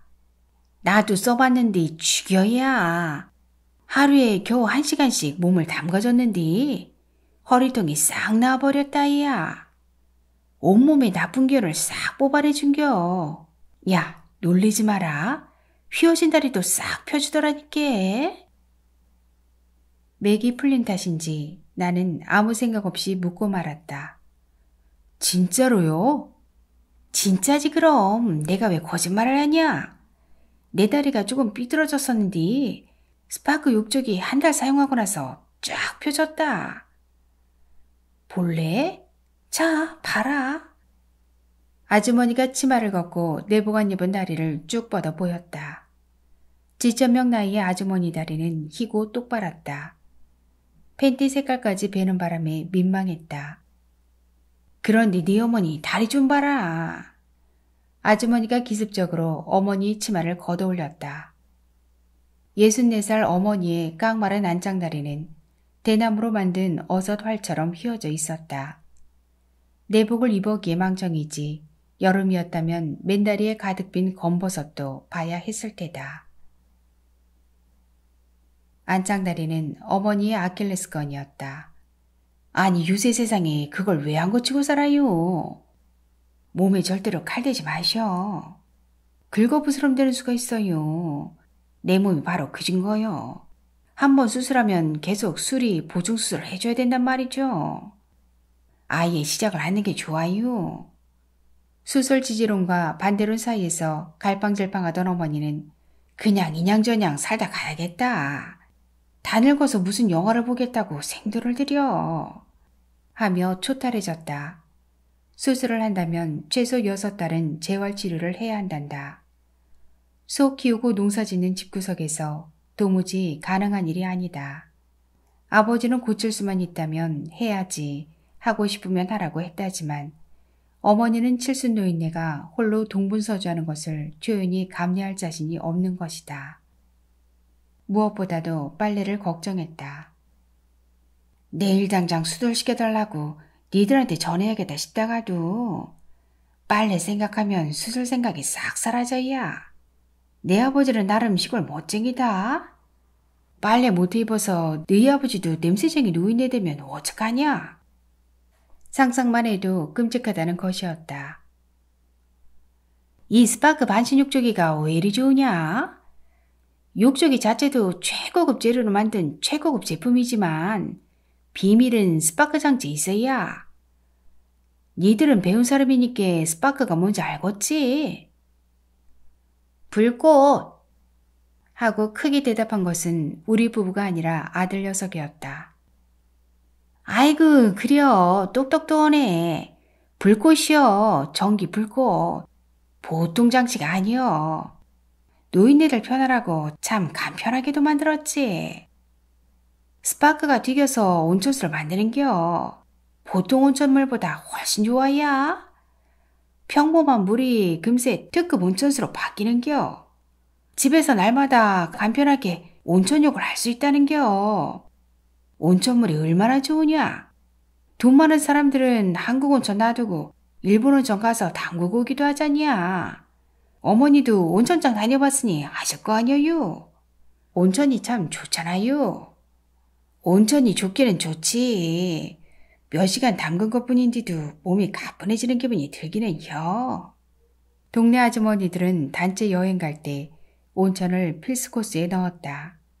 온천욕을 하고 와야 여행을 다녀온 거로 쳤다. 온천장이라면 어머니도 제법 경험해 본 것이다. 온천을 날마다 집에서 한다고 해봐요. 몸이 안 좋아지겠어요. 허리가 안 낫겠어요. 다리가 안 펴지겠어요. 만병에 굳혀질 수밖에 없다고요. 판도나, 실은 내가 한 달 전부터 어머니를 틈틈이 찾아뵙고 홍보를 해드렸어. 아버님한테도 말씀드렸지. 근데 아버님은 만날 술집에 계셔갖고 못 알아들으시더라. 어머니도 온천 정거 아니께 꾀꾀로 탐연하시는가 보더라. 근데 어머니가 돈이 없잖여. 어머니가 깜짝 놀라 소리를 질렀다. 내가 언제 탐을 했디야. 나는 그냥 돈이 없다는 얘기만 했잖여. 돈 없는 할머니한테 백날 떠들어봐야 소용없다. 아무리 좋은 물건이 눈앞에 있다 한들 돈 없으면 TV 속에 다이아 반지 아니냐. 그려요. 어머니가 무슨 돈이슈? 하지만 판돈이 너는 있을 거 아니냐. 야, 너는 내가 잘해서 된 걸로 생각하겠지만 어머니 정성 아니었으면 힘들었을 거다. 어머니가 저를 두세 군데씩이나 댕기시며 너 잘 되라고 불공들였다는 건 삼동네가 다 아는 일 아니냐. 저 하나도 잘 안 됐다니까요. 왜 자꾸 잘 됐다고 하세요. 제가 잘 됐으면 어머니 허리 다리 벌써 고쳐드렸죠. 잘 안 됐으니까 만날 아프신 거 보면서 그냥 눈딱 감고 쪽팔리게 사는 거 아닙니까? 아이고, 좋은 얘기하고 있는데 왜 화를 내려고 그랬냐? 정장녀가 보강 설명을 했다. 우리나라도 곧 물 부족국가 되려 들 텐데 이 욕조가 정말 획기적인 게 뭐냐면 아침에 받아놓은 물로 저녁까지 온 가족 모두가 쓸 수 있어요. 물을 한번 받아놓으면 정화장치가 있어서 불순물을 계속 걸러주거든요. 그러니까 하루 한번 받아놓은 물을 어머니, 아버지, 아들, 딸, 며느리가 모두 사용할 수 있지요. 물이 식지도 않아요. 늘 우리 몸에 좋은 최적의 온도를 유지해주거든요. 참 경제적이고 효율적이지요. 안내책자의 표지 사진상으로 스파크 반신욕조기는 별로 특별해 보이지 않았다. 스파크를 발생시킨다는 무슨 장치와 불순물을 걸러준다는 무슨 박스 같은 것을 걷어내면 평범한 싸구려 욕조와 똑같아 보였다. 도대체 가격이 얼마나 하는지 물어보고 싶었지만 절대로 물어보면 안 된다고 마음먹었다. 나는 어떤 물건의 값을 물어보면 그 물건을 사고야만 하는 버릇이 있다. 판매원이 얼마라고 하는 순간 물건과 가격에 대한 비판적 통찰력이 마비되고 달라는 대로 돈이나 카드를 내미는 것이었다. 아주머니의 역할은 더 이상 없나 보다. 이후부터는 정장녀의 일방적인 요설이었다. 정장녀는 안내 책자에 다 써 있으니 읽어보면 알 거라는 말을 취임새처럼 섞으면서도 한 페이지도 읽어볼 겨를을 주지 않았다. 활짝 웃는 낯걸로 지당한 말, 다정한 말, 좋은 말만 골라서 만병을 치유할 특급 온천수 반신욕조기를 평생 고생해서 키워준 어머니께 그가 것 하나 못 사주면 완전 불효자 아니겠냐로 요약할 수 있는 말씀을 줄기차게 떠들어대는 것이었다. 나는 새총으로 쏘아대는 뾰족한 돌을 계속 얻어맞는 듯했다. 저는 원래 불효자예요. 불효자입니다. 바락처럼 부르짖고 싶었다. 아내도 과히 좋은 표정은 아니었다. 정장녀의 말은 아내에게 이렇게 들릴지도 모른다. 시어머니한테 육죽이 선물하겠다고 얼른 말해. 그렇지 않으면 너는 나쁜 못된 야박한 며느리야. 아들이 무슨 경제권이 있어? 아들이 사드리고 싶어도 며느리가 반대하면 안 되는 거잖아. 며느리, 어서 결단을 내려. 시어머니 다리가 불쌍하지도 않니?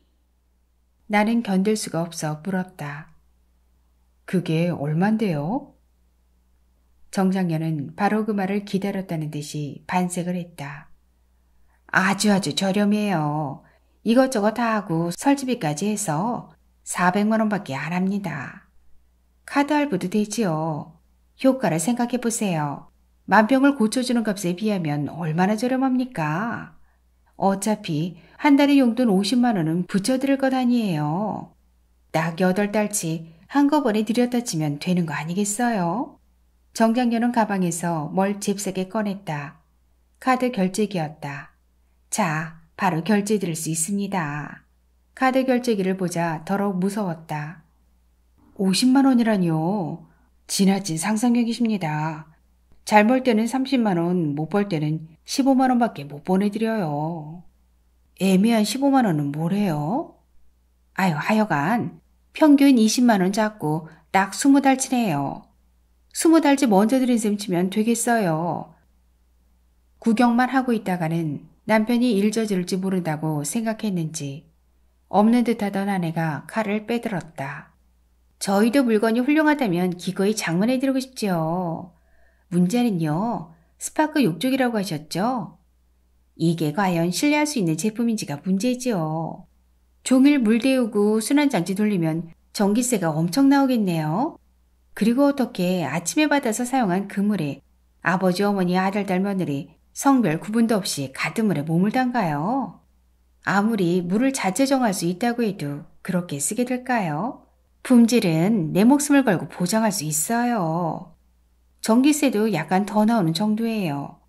마음병을 고치는데 전기세를 아끼자는 건가요? 스파크라는 것도 좀 이상하네요. 제 생각엔 그저 물을 덮이는 기능에 불과한 것 같아요. 물에다 대고 전기 좀 튀긴다고 해서 물이 갑자기 특효 온천수로 바뀐다니 판타지 같아요. 그러고요. 진짜 제대로 된 물건이라고 쳐도 이해할 수 없이 비싸네요. 욕조기 하나에 전기장치, 순환장치 둘이라는 거잖아요. 이게 어떻게 400만 원이나 할 수 있죠? 따짐쟁이라는 벼로가 아깝지 않은 아내였다. 5년 전 아이가 다니던 고액 유치원에서 무슨 새로운 프로그램으로 교육 시스템을 바꾼다며 필수 코스 특별활동 비용으로 20만 원을 더 받겠다고 했다. 중대형 아파트 엄마들이 20만 원을 더 지불할 만한지 긴가민가 하는 사이에 임대 아파트 안에는 지금도 비싸 죽겠는데 더 올려받으려는 파렴치한 수작이라며 소형 아파트 엄마들을 귀합해서는 결사반대 데모 수준으로 나대었다. 유치원으로 따지러 다니는 아내는 철의 노동자 같았다. 결국 유치원은 야심차게 준비했던 특별활동 프로그램을 접고 말았다. 그 활약으로 아내는 따짐쟁이라는 별명을 얻었다. 유치원 원장은 내 아들 녀석이 졸업할 때 악성 바이러스를 퇴치한 것처럼 시원했을 테다. 설치비가 들어간다고 했잖아요. 나를 다단계 같은 거로 의심하는 모양인데 나는 그런 사람 아닙니다. 이욕 주기는 불법 물건이 아니라고요. 아니, 이렇게 안내 책자가 있는데도 의심을 하나요? 이게 홈페이지 주소입니다. 혹시 컴퓨터 안 가져왔나요? 스마트폰만 터지면 회사 홈페이지 바로 보여드릴 수 있는데 스마트폰이 안 터져서 홍보가 너무 힘드네요. 정장녀가 눈짓을 보내자 아주머니는 건듯 웃었다. 아, 좀 속상하네. 나는 어머니 아픈 거 생각해갖고 나만 효능보기가 아까워서 이런 좋은 물건을 소개하는 건데 우리 본부장님을 사기꾼 대하듯 딱딱거리면 아, 내 얼굴이 뭐가 되나. 내가 늘 웃기만 하는 년이긴 하지만 이 상황에서도 웃음이 나오네. 나는 모처럼 말할 줄 아는 사람이라는 걸 증명했다. 저희도 쪼들려요. 스마트폰도 없어요. 아내는 친근하게 웃으면서도 하고 싶은 말을 감추지 않았다. 기분 나쁘셨다면 죄송해요. 하지만 사이버도 믿을 수가 없지요. 홈페이지 정도는 우습게 장난질 치는 사람이 수두룩해요. 뉴스에서도 자주 나오잖아요. 사이버 사기당한 사람들이 가슴 쥐어점이 아파하는 거예요. 사이버 범죄 수사대가 괜히 있겠어요? 정장녀가 버럭 소리를 질렀다. 젊은 사람이 정말 진짜로? 아, 왜 그렇게 사람 말을 못 믿어요? 저도 부록진년이에요. 사람 말 잘 믿을 만큼 젊지는 않죠. 나는 슬그머니 밖으로 나왔다. 전장에 아내만 남겨놓고 혼자 살겠다고 도망치는 기분이었다. 달과 별을 쳐다보며 흡연했다. 3월 하순의 밤바람이 사무치도록 시렸다. 화가 치민다. 사들이면 좀 안 돼? 카드 할부하면 되잖아.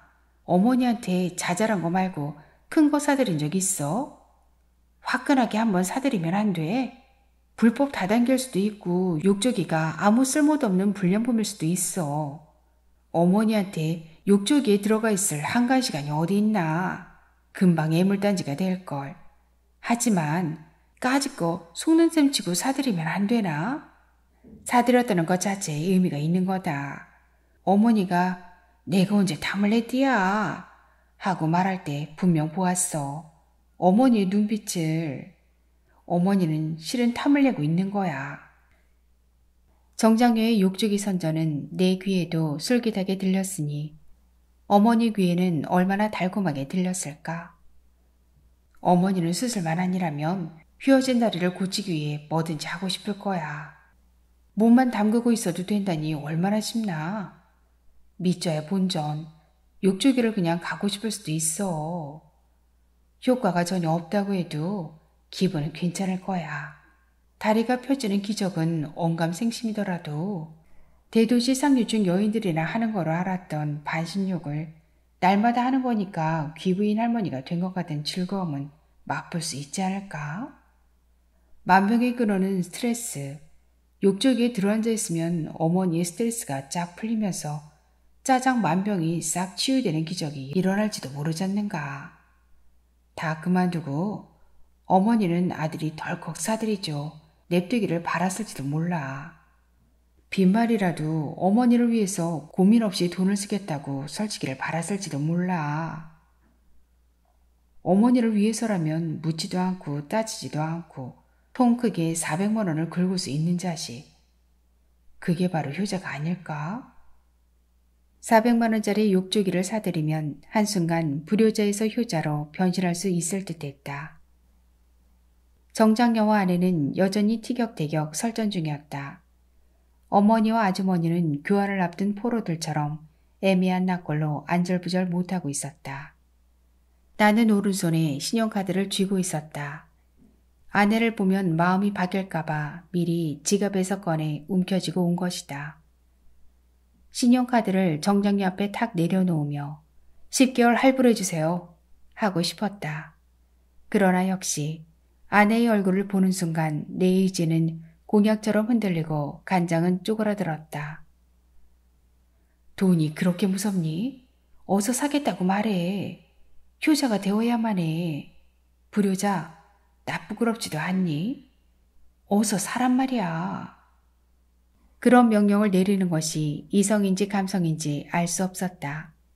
그런 명령에 맞서 카드진 손가락을 꽉 모으고 절대로 펴지 않는 것은 타고난 자본주의적 본능인가. 정장녀는 이런 말까지 했다. 내가 많이도 다녀봤지만 참 자식들의 문제야. 우리 어머님들이나 아버님들은 당장 여기저기 아프니까 이 욕주기를 많이들 가고 싶어 하시는데 자식들이 어떻게 한평생 자기들 키워준 부모한테 욕조기 하나 사주는 걸 아까워할 수가 있어. 어느 집은 말이에요. 딸이 그래. 엄마, 고무다라이에서 목욕하면 되잖아. 아니, 우리 어머님들은 욕조기에서 반신욕 좀 하면 안 돼? 꼭 그 겨울에 김장 담글 때나 쓰던 고무다라이에다 물 받아가며 뒷물해야 되냐고. 아유, 몹쓸 아들 며느리들 그냥. 에이, 몹쓸 아들 며느리들. 아내가 대거래를 했다. 말씀이 너무 심하시네요. 아무리 좋은 물건이라도 그렇지. 지금 당장 이 자리에서 효부를 보려고 하시면 안 되죠. 정말 좋은 물건이고 꼭 필요하다 싶으면 며칠이 지나도 사긴 꼭 사요. 단돈 몇만 원짜리 물건도 요모조모 따져보고 생각해보고 신중을 기하는데 무려 400만 원짜리 물건을 지금 이 자리에서 안 사면 안 될 것처럼 천하의 불효자로 몰아가면서까지 이러시는 거 참말 불쾌해요. 친정 아주머니를 대동하고 오셔서 지금 누굴 겁박하는 건가요? 좋아요. 저희가 욕조기를 산다고 쳐요. 그런데 결정적인 문제가 또 있어요. 어머님, 아버님 집에 과연 욕조기를 설치할 수 있겠느냐는 거죠. 집 구조가 매우 독특하단 말이에요. 어머니가 모처럼 사분거렸다. 아버지가 직접 만든 집이라 이 모양이다. 돈 든다고 목수 한번 부르고 미장이 한번 부른 것 빼고는 혼자 다 지셨어. 지었을 때는 괜찮더니만 지은 지 30년은 돼가잖냐. 이게 고쳐서 될 집이 아니여. 이왕 손대려면 싹 뜯고 새로 지어야지. 어머니 말씀이 맞아요. 욕조기를 들여놓으려면 현재 5개 욕실을 완전히 뜯어고치고 대공사가 불가피해요. 그러니 설령 우리 부부가 욕조기를 사드리고 싶어도 아버님이 욕실을 새로 짓겠다는 결정을 하지 않으시면 욕조기를 들여놓을 자리가 없다는 거예요. 그거야 재어보면 알지요. 아주머니, 욕실이 어딘지 알지요? 정장녀가 가방에서 줄자를 빼들더니 그 무거운 엉덩이를 일으키고는 후다닥 뛰어나갔다. 아주머니가 강아지처럼 쫓아나갔다. 런닝맨이 끝나고 아들 녀석은 시끄러워 테레비를 못 본다니께 사투리를 내지르고 꺼졌는데 작은 방에서 만화 상복지라도 복습하는 모양이었다. 문제가 해결되지 않은 상황에서 우리 부부와 어머니만 남겨지니 난감했다. 어머니한테 여쭤보기라도 해야 하나? 어머니가 사용하겠다면 사드릴게요. 아내가 아무리 길길이 날뛰어도 목숨을 걸고 사드릴게요. 끝내 질문이 나와주질 않았다. 어머니에게 몹시 가혹한 질문일 듯 했다. 아내도 어머니에게 무슨 말인가를 하고 싶기는 한데 쉬 하지를 못하는 듯 했다. 갑자기 어머니가 피식 웃었다.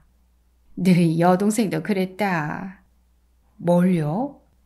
너 엄마 육족이 좀 사줄래? 장난으로 물어봤더니 그러더라. 고무 다라이에다 하면 되잖아. 어머니는 웃으라고 한 얘길까? 욕조기 생각만 하다가는 미치겠다. 어머니에게 듣다만 얘기가 버뜩 생각났다. 어머니, 아까 그 아버지 동창분, 그래서 어떻게 돌아가신 거예요? 어? 니 그 아저씨? 그 아저씨가 한사코 용돈 80만 원만 달라고 하니께 아줌마가 아저씨가 벌어온 돈 뭉치를 집어던졌디야. 하필이면 아저씨 이마에다가 아이고 칠수 노인네가 마누라한테 돈으로 맞았으니 속이 오죽했겠냐. 다른 남편 같으면 마누라를 패잡았을 텐데 그 아저씨가 참 얌전한 사람이거든. 자꾸 달라고 떼쓰던 돈을 한 장도 안 줍고 밖으로 나가더니 계속 안 들어오더랴. 이틀이 지나도록 안 들어오니까 산지 사방으로 찾아다녔지만 못 찾았지. 보름이 돼서야 집에서 한참 떨어진 엉뚱한 산속에서 발견되지 뭐냐. 죽은 분도 안 됐지만 산 사람도 안 됐어야. 아줌마가 남편 죽으라고 돈을 던졌겠냐? 남편이 철없는 소리 한다고 여겨서 분김에 던졌겠지. 하필이면 그게 이마에 맞아갖고. 아유, 나도 제과점 다닐 때 맞아봐서 안다만. 이마든 뒤통수든 돈으로 맞으면 정말 아프다. 농약 들이 마시고 싶을 정도로. 그런데 알고 준 건 그 소문을 낸 사람이 마누라요. 장례 치를 때 하도 속상해서 그런가 문상객한테 스스로 그 얘기를 발설했디야. 자기만 가만히 있으면 아무도 모를 얘기 아니여. 그래서 이상하기는 혀.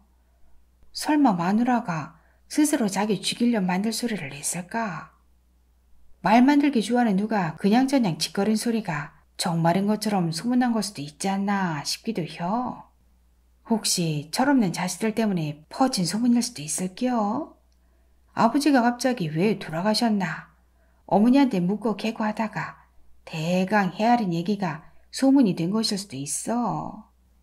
소문이 참 무서운 법이요. 손님들이 돌아왔다. 정장녀는 30cm가량 뽑은 줄자를 휘두르며 주절댔다. 욕적이 충분히 들어가고도 남아요. 업체 사람들이 공사까지 해주니까 새로 짓지 않고도 욕실을 손쉽게 세단장할 수 있겠네요. 일석이조네요. 일단 일을 저지른 게 최선이에요. 카드를 긁어놓으면 어쩌겠어요. 자식들이 효도섬을 사버렸다는데 아버님이 무슨 말을 하시겠어요. 정장견은 내게 강제로 카드 결제기를 안기기라도 할 태세였다. 안 긁으면 그 줄자로 내 목이라도 베겠다는 겁니까? 어디서 줄자로 사태질이야? 물어보고 싶었지만 꾹 참았다. 아내는 손님들을 쫓아버리고 싶은 마음이 간절한가 보았다. 아버님이 무섭습니다. 아버님과 상의해서 결정할게요. 이만 돌아가셔서 기다리시는 게 좋겠어요. 제발 좀 돌아가 주세요. 어머니 피곤하셔서 주무셔야 돼요. 아주머니가 내게 하소연하듯 물었다. 판도나, 너는 왜 내 안 쓰란 말만 시키고 어째 말 한마디를 못하냐? 내가 가장 아니냐? 내가 어머니 아들 아니요? 내 생각을 말해보란 말이다. 욕적에 놔드리는 게 자식애들이 아니겠냐? 저도 아버지가 무섭습니다. 어머니도 뒤를 이었다. 나도 애들 아버지가 무서워. 애들 아버지 허락 안 받고 무슨 일을 저질렀다가는 다 쫓겨날 각오를 해야 해요. 애들도 아버지가 무서워서 지들 마음대로 무슨 일을 한 적이 없다니까. 어머니는 혹시 품었을지도 모를 욕조기에 대한 희망을 마지막 한 방울까지 짜내버린 듯 했다. 하여 아들과 며느리를 돈 못 쓰는 불효자로 만들지 않기 위해 안간힘을 다하는 듯 했다. 무서운 아버지가 벼랑간 문을 열고 들어와 못하는 짓이여. 당장 꺼지지 못해. 하고 상황을 정리해 주었으면 좋겠다. 41살이 되어도 아버지를 찾을 수밖에 없는 내가 불쌍하고 한심했다. 아버지는 정말 곤히 잠드셨나 보다. 정장녀는 욕조기를 팔기 전에는 그러니까 내가 계약서를 쓰거나 카드를 긁기 전에는 절대로 일어서지 않을 결심인 듯 했다. 저 정도 인내와 끈기와 뻔뻔함은 있어야 뭘 팔아도 팔 수 있을 테다. 손뼉이라도 쳐줘야 하는가. 욕조기 하나가 팔리면 아주머니에게는 얼마나 떨어질까? 친척을 몇 명이나 소개해주고 그 중에 몇 명이 사야 아주머니가 구입한 욕조기 값이 나올까? 아주머니, 진정 만병이 치료되는 효염이라도 보았기를 간절히 바랍니다. 그런데 이렇게 돌아다니시면 언제 욕조기에 몸을 담그나요? 아내가 없었다면 나는 벌써 카드를 긁고 지금쯤 그걸 왜 샀지 전전긍긍하며 미쳤지 미쳤어 자책하고 있지 않을까? 정장녀와 당당히 맞서고 있는 아내에게도 손뼉을 쳐주고 싶었다. 어머니 속은 얼마나 너더분할까? 오늘 밤 어머니가 일기를 쓴다면 뭐라고 쓸지 겁이 났다. 불효의 시간은 더디더디 흘렀다. 낭독은 여기까지입니다.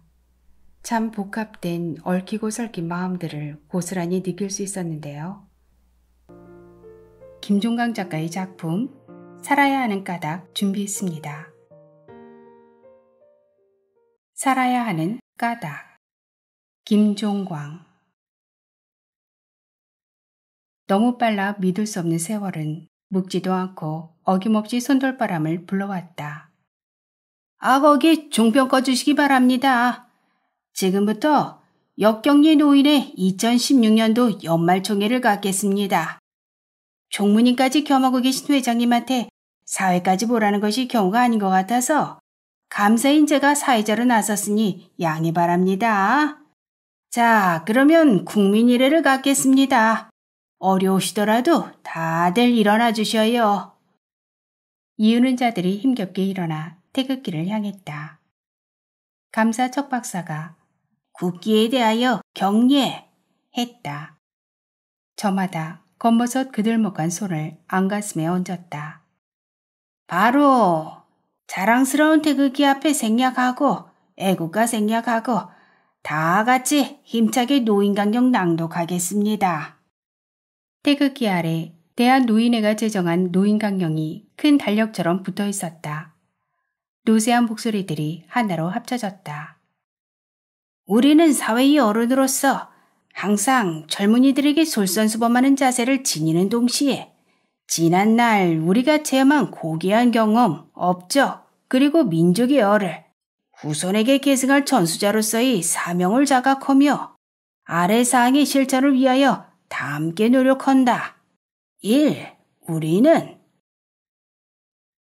진지한 장난스러운 수줍은 각양각색의 표정이 세 살 때의 것인 듯 했다.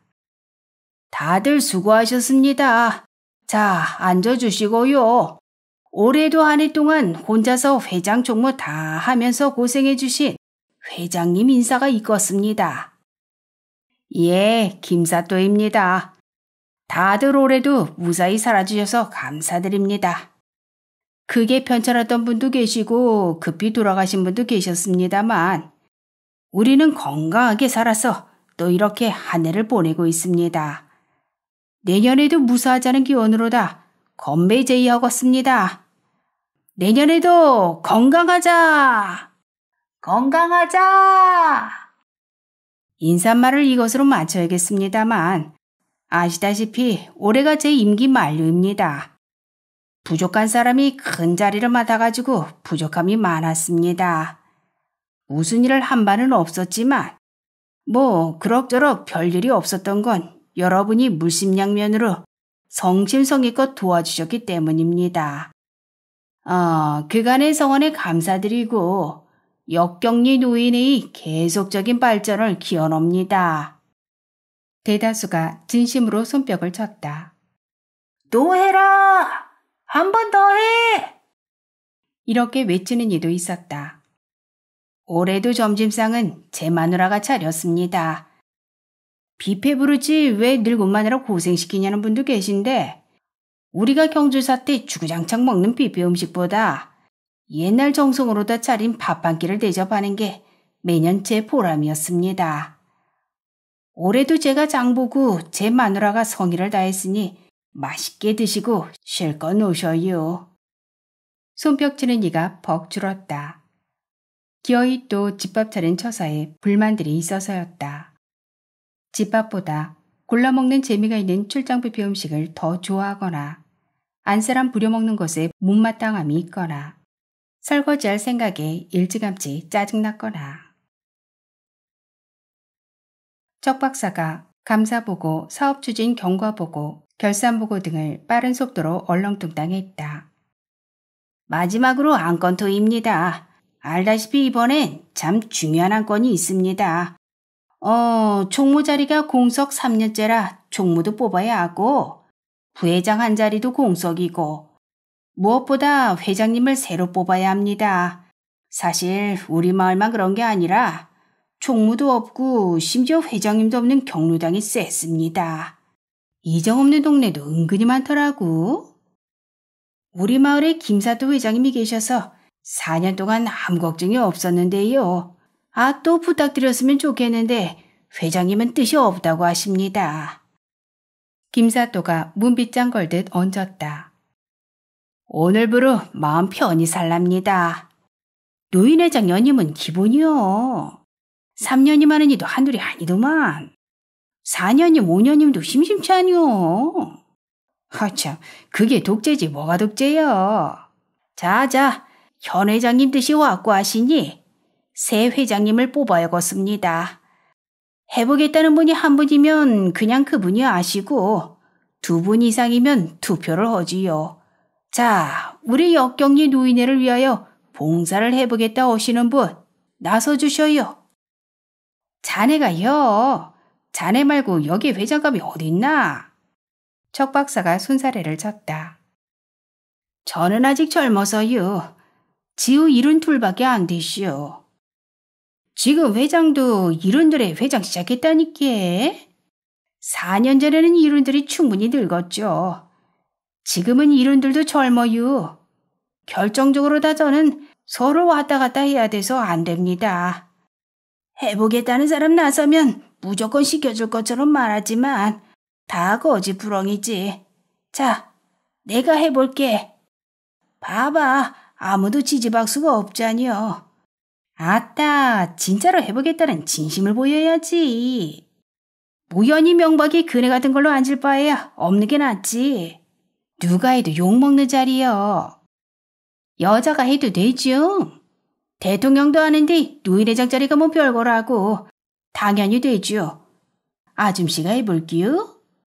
아유, 내가 하겠다는 소리는 아니고. 우리 해결되기 지금 몇 살이지? 아직도 출순이 멀었어? 밥 언제 먹어요? 노래방 들어놓고 놀아봐야죠. 회장님, 미안한데 한 번 더 합시다. 그거 좋다. 젊은 사람이 계속 하는 게 맞지. 8년을 하라고요? 미쳤슈 미쳤어. 내가 뭐 이승만이요? 이승만 같은 놈이 오래 하는 게 독재지. 잘하는 사람이 오래 하는 게 무슨 독재요? 다른 동네도 잘하는 사람이 맡으면 노인회장이고 부녀회장이고 청년회장이고 10년은 기본이더구만. 요즘엔 20년짜리도 흔여. 암만 잘하지 못해도 돼. 동네 분란만 안 일으키는 사람이면 충분이야.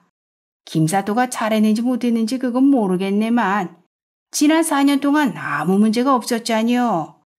담배 피우는 사람들이 딴 경로당을 차리라고 했던 것 빼고는. 아무리 그런 말들 하셔도 나는 못합니다. 아유, 안 합니다.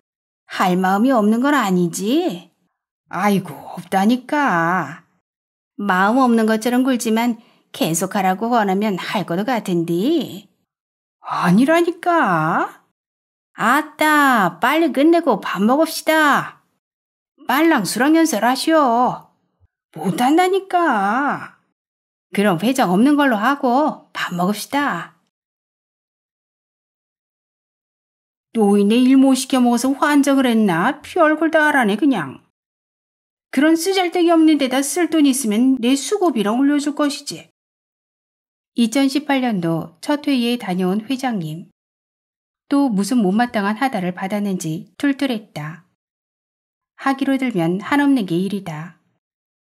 김사또는 하나하라면 다섯 가지 해야 직성이 풀리는 성미라 면사무소나 노인복지에서 무슨 일 시키면 큰일이라도 당한 것처럼 부산 떨고는 했다. 하기는 남들 보기엔 별일 아니더라도 독립운동이라도 하는 것처럼 설치는 맛에 실속 없는 감투를 6년째 쓰고 있는 것이겠지만 오지랖은 속으로는 얄궂은 미소를 지으면서도 역성을 들었다. 맞아요. 당신이 애쓰는 거를 생각하면 수급이 30만 원이 너무 짜. 생각 모자란 이들은 그것도 그냥 번다고 불어했었더만. 아이고 회장일 본다고 나댕기느라 드는 오토바이 기름값, 버스값, 택시값. 노인 회장님들끼리 만나서 매번 얻어먹을 수 없으니까 나도 한 번은 내는 밥값. 청년의 부인에 놀러갈 때 최면석 내놓는 찬조비. 누구 아파서 노인의 대표로 갈 때마다 사가는 음료수 값. 다 포함해서 30인데. 시세 말걸 시세매야지. 무슨 일인데 그리요? 글쎄 회관 청소를 시키랴. 노인 일자리 창출로다. 청소? 당신이 만나라자니요. 나는 남편 회장님으로 둔 덕분에 덩달아 청소하고 청소비를 당신한테 얹어주면 되겠네. 내가 해도 되면 무슨 문제요. 무조건 전문 청소꾼을 두라니까 그러지. 얼마나 준다는데요? 한 달에 27만 원이랴. 열흘 일하고 일당 2만 7천 원? 요새 누가 그 돈에 일해요. 아줌마 하루 품삯이 6만 원 넘는 게 어제고 7만 원이 내일이라는데 하루 종일 하는 게 아니고 3시간만 하면 된디야. 그래요? 그럼 할만 하겠는디요? 그럼 너도나도 한다고 하겠지. 잠깐 움직이고 2만 7천 원이 어디요. 내 마음 같아서는 딱 당신 시키고 싶은데. 무릎 수술 받은 지 2년밖에 안 된 사람한테 바랄 걸 바라슈.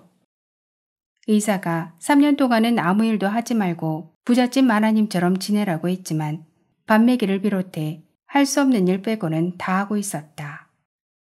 내 마누라라 하는 얘기가 아니고 냉정하게 객관적으로다가 역경리서 당신만큼 청소 잘하는 사람이 어디 있어.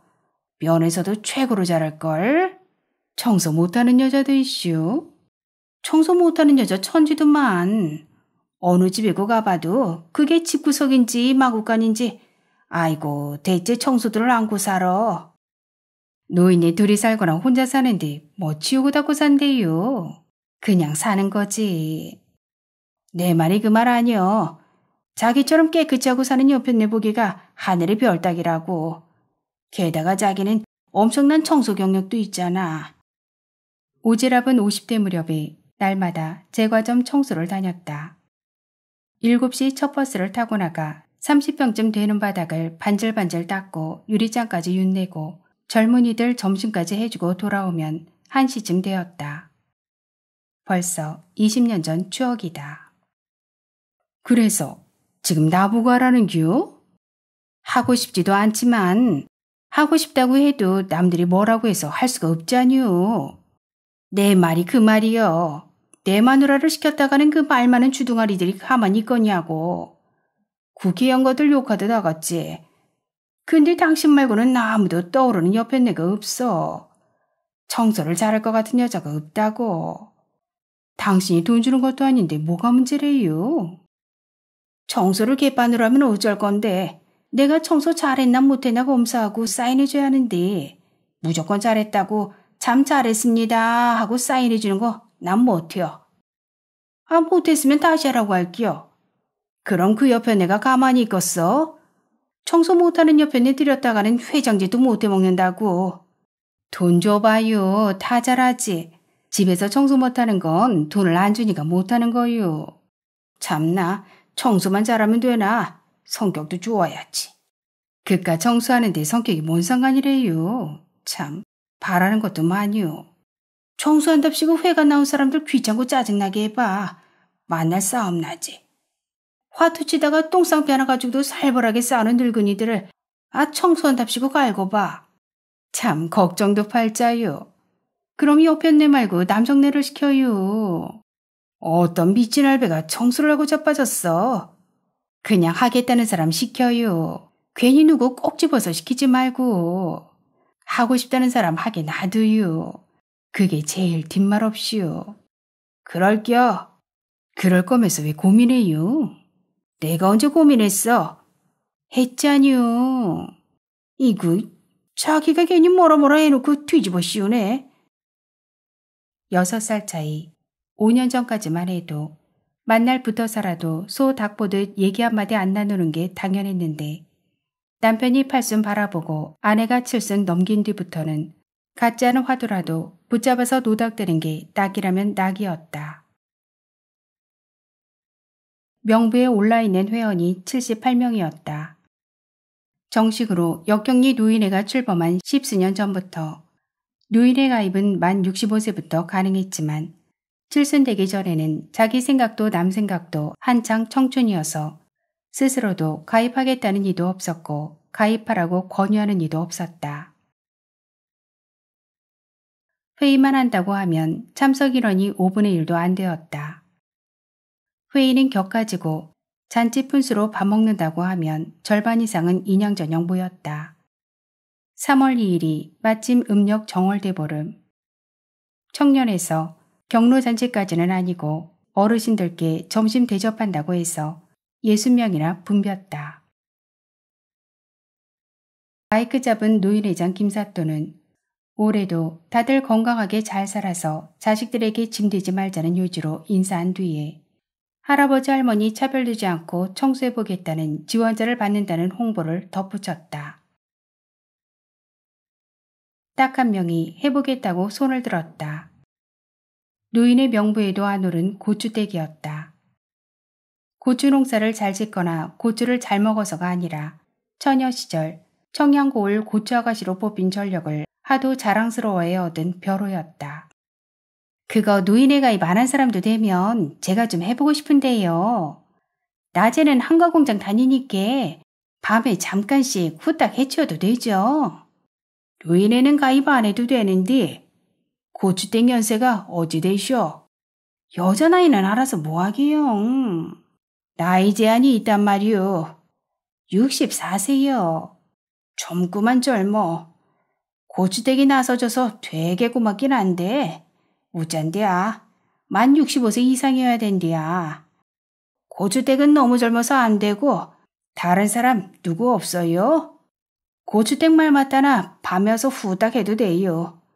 깨끗하게만 한다면야. 말벌 만난 꿀벌들처럼 쏘아댔다.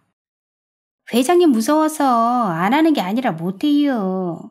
깨끗하게 안 하면 회장님한테 홍구멍 날 거 아니요. 회장님 청결 기준이 더럽다는 거 면사무소 직원도 알더만요. 요새 누가 2만 7천 원에 쓰리 뒤를 해요. 말이시오 회관 청소지. 회관 청소도 청소는 청소고 엄연히 쓰리 뒤일 중 하나인데 아직도 쓰리 뒤를 모르는 분들이 계시네. 뒤럽고 뒷걸 쓰시고 뒤같단 말이오. 극한 직업 안 봐요. 거기 보면 쓰리 뒤한 직업 천지던데. 아직 일할 수 있는 노인네라면 돈 많이 버는 일을 하지. 아, 한 달에 27만 원짜리 일을 왜 안 돼요? 요새 뭐래도 달에 100은 벌어요. 차라리 공공근로를 하지. 호미 들고 슬렁슬렁 왔다 갔다 하면서 4대 시간이라고 4만원씩 벌더라고. 신선노름처럼 말하시네. 대기 해봤슈? 나름 고추가 커요. 내가 하천 쓰레기 줍다가 시궁장에 빠져 죽을 뻔했다니까. 공무원 것들한테 매미 상처도 엄청 받는다고요. 일할 수 없는 노인네는 천만금을 줘도 못하죠. 안 아픈 데가 없고 안 고장난 데가 없는데 청소하다가 아픈데 더 아프고 고장난 데 더 고장나 봐요. 병원비만 더 나오지. 돈 안 되는 거 알면서 그나마 농사일 하는 건 걷어서 자식들한테 보내주고 나눠주는 보람가재미가 있으니까 하는 건데. 그깟 일은 뭔 보람과 재미가 있것슈. 내가 하고 싶어도 자식들 때문에 못해요. 자식들이 난리치죠. 이참에 이거 한다고 나대서 용돈 인상해야겠네. 내가 자식당 20 받는데 30으로 올려달라고 해야지. 히히. 드디어 김사또가 듣고 싶은 말을 해주는 이가 있었다. 정 거시기 하면 오지랖되게 하시오. 어차피 자주 청소하지 않요. 저번에도 덤프트럭에 회관마당에다 흙 뿌리고 갔을 때도 회장님이 아니라 회장 사모님이 쓸고 있더만. 남편이 시킨 게 아니었다. 남편이 덤프트럭 운전사와 대판 싸워 마을 시끄러울까봐 몰래 치운 거였다. 그리요 오지랖대기 하면 되겠네. 그가 무보수로 정수한 값 뒤늦게 이자까지 쳐서 받는다고 생각하면 되것이오. 정수양 오지랖대기 최고지. 청소대에 나가면 따놓은 1등일기요. 반대하는 이도 있었다. 큰일 날 소리. 오지랖댁 무릎 수술 받은 거 몰라요? 돈 안 받고도 청소를 그리 열심히 했는데 돈 줘봐요. 돈값 한다고 더 열심히 할 거 아니요. 오지랖댁이 청소하다가 무릎 터치면 여러분이 책임질 겁니까? 누군가 핵심을 짚었다. 당사자의 생각이 중요하지. 오지랖댁 어디요? 할매 있어? 할 수 있는겨? 오지랖은 기다렸다는 듯이 그러나 마지못해 하겠다는 낯빛으로 대답했다. 아휴 어쩌겠어요. 정하겠다는 사람이 없으면 저라도 해야죠. 남편이 말 안 해준 게 있었다. 교육을 받아야 한다는 것. 실은 남편도 몰랐다. 어떤 미친놈이 청소 같은 것도 교육까지 시켜가며 시킬 줄 알았겠냐고. 내 말이 그 말이요. 청소를 왜 교육까지 시킨다는 겨? 가봐. 가보면 알겠지. 교육 그거 별거 아니여. 그냥 앉아있으면 돼. 들리면 들리는구나 듣고 졸리면 졸면 돼. 노인네 안 듣고 잔다고 아무도 뭐라고 안 해. 나만 자나? 다 자. 안 자는 놈이 미친놈이지. 들으나마나 한 소리 듣고 있는데 잠이 안 와. 김사또는 노인회장 되고 나서 원 없이 회의를 해보았다. 면사무소 주민자치센터에서 열리는 정기회의만 한 달에 네 번이었다. 안 가면 찝찝한 23개 행정리 노인회장들이 모이는 육경면 노인협회의만 꼭 가고 나머지 회의는 꼭 가야 할 일 아니면 위임으로 때우고 있었다. 그놈의 회의 꼬박꼬박 나갔다가는 볼일 다 볼 테다. 근데 말이 회의지. 그러니까 회의를 했다기보다는 주입식 교육받는 느낌이었다. 정식 교육도 앵간히 받았다. 면사무소 차원이 아닌 시청이나 노인회관 가서 유명하다는 특급 강사한테도 들었다. 노인 인권교육, 때가 때이니만큼 경로당 미투 방지를 위해 최선을 다해달라는 소리 같았다. 웰다인 교육, 잘 죽는 법을 얘기하는 듯 했다. 치매 예방 교육, 예방이 가능하기는 한 건가 의문만 들었다. 경로당 운영 활성화 교육, 이러저러하게 노래 강사, 치매 예방 강사들을 보내줄 건데 제발 많이들 참여하시게 노력해달라고 신신 당부하는 듯 했다. 어르신 보행 및 교통 안전 교육, 노인네들 쓸데없이 나돌아다니지 못하게 해달라는 소리 같았다. 반나절 치기에 점심밥 주고 반주도 주고 교육비에 차비도 주니 안 가면 손해보는 듯 해서든 감투 높은 이들이 꼬가서 두 손 공손히 내밀며 애쓴다고 치하하니 뭐라도 되는 듯 대접받은 맛에서든 말 잘하는 이들한테 전화로 시달리기 싫어서든 회의 때보다는 출석률이 월등히 높았다. 김사또는 뭐니 뭐니 해도 노인 지도자 교육과정 연수를 잊을 수 없었다. 노인대학은 시간 맞춰 다닐 형편이 안 된다고 굳고 사양했지만 연수는 여행사마 다녀오시면 된다고 이거 안 가면 우리 주무관들 높은 어르신들한테 엄청 갑질당한다고 하소연하니 안 갈 도리가 없었다. 당일치기도 아니고 1박 2일이었다. 관광버스로 말로만 듣고 텔레비전으로만 보던 무주구천동 노인 전문교육원에 갔다. 시대 변화에 따른 지도자 역할, 경로당 운영 회계 실무, 무병장수 누리기 및 인문학 등의 강의를 들었다.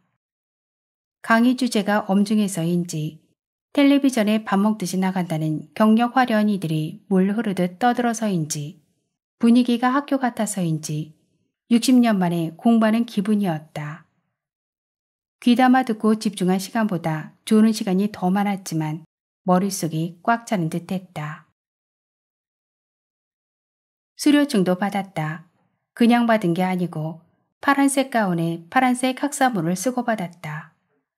단독 사진도 찍었다. 20몇 년 전 큰아들 대학교 졸업식에서 못 이기는 척 입어봤을 때처럼 아리송했다.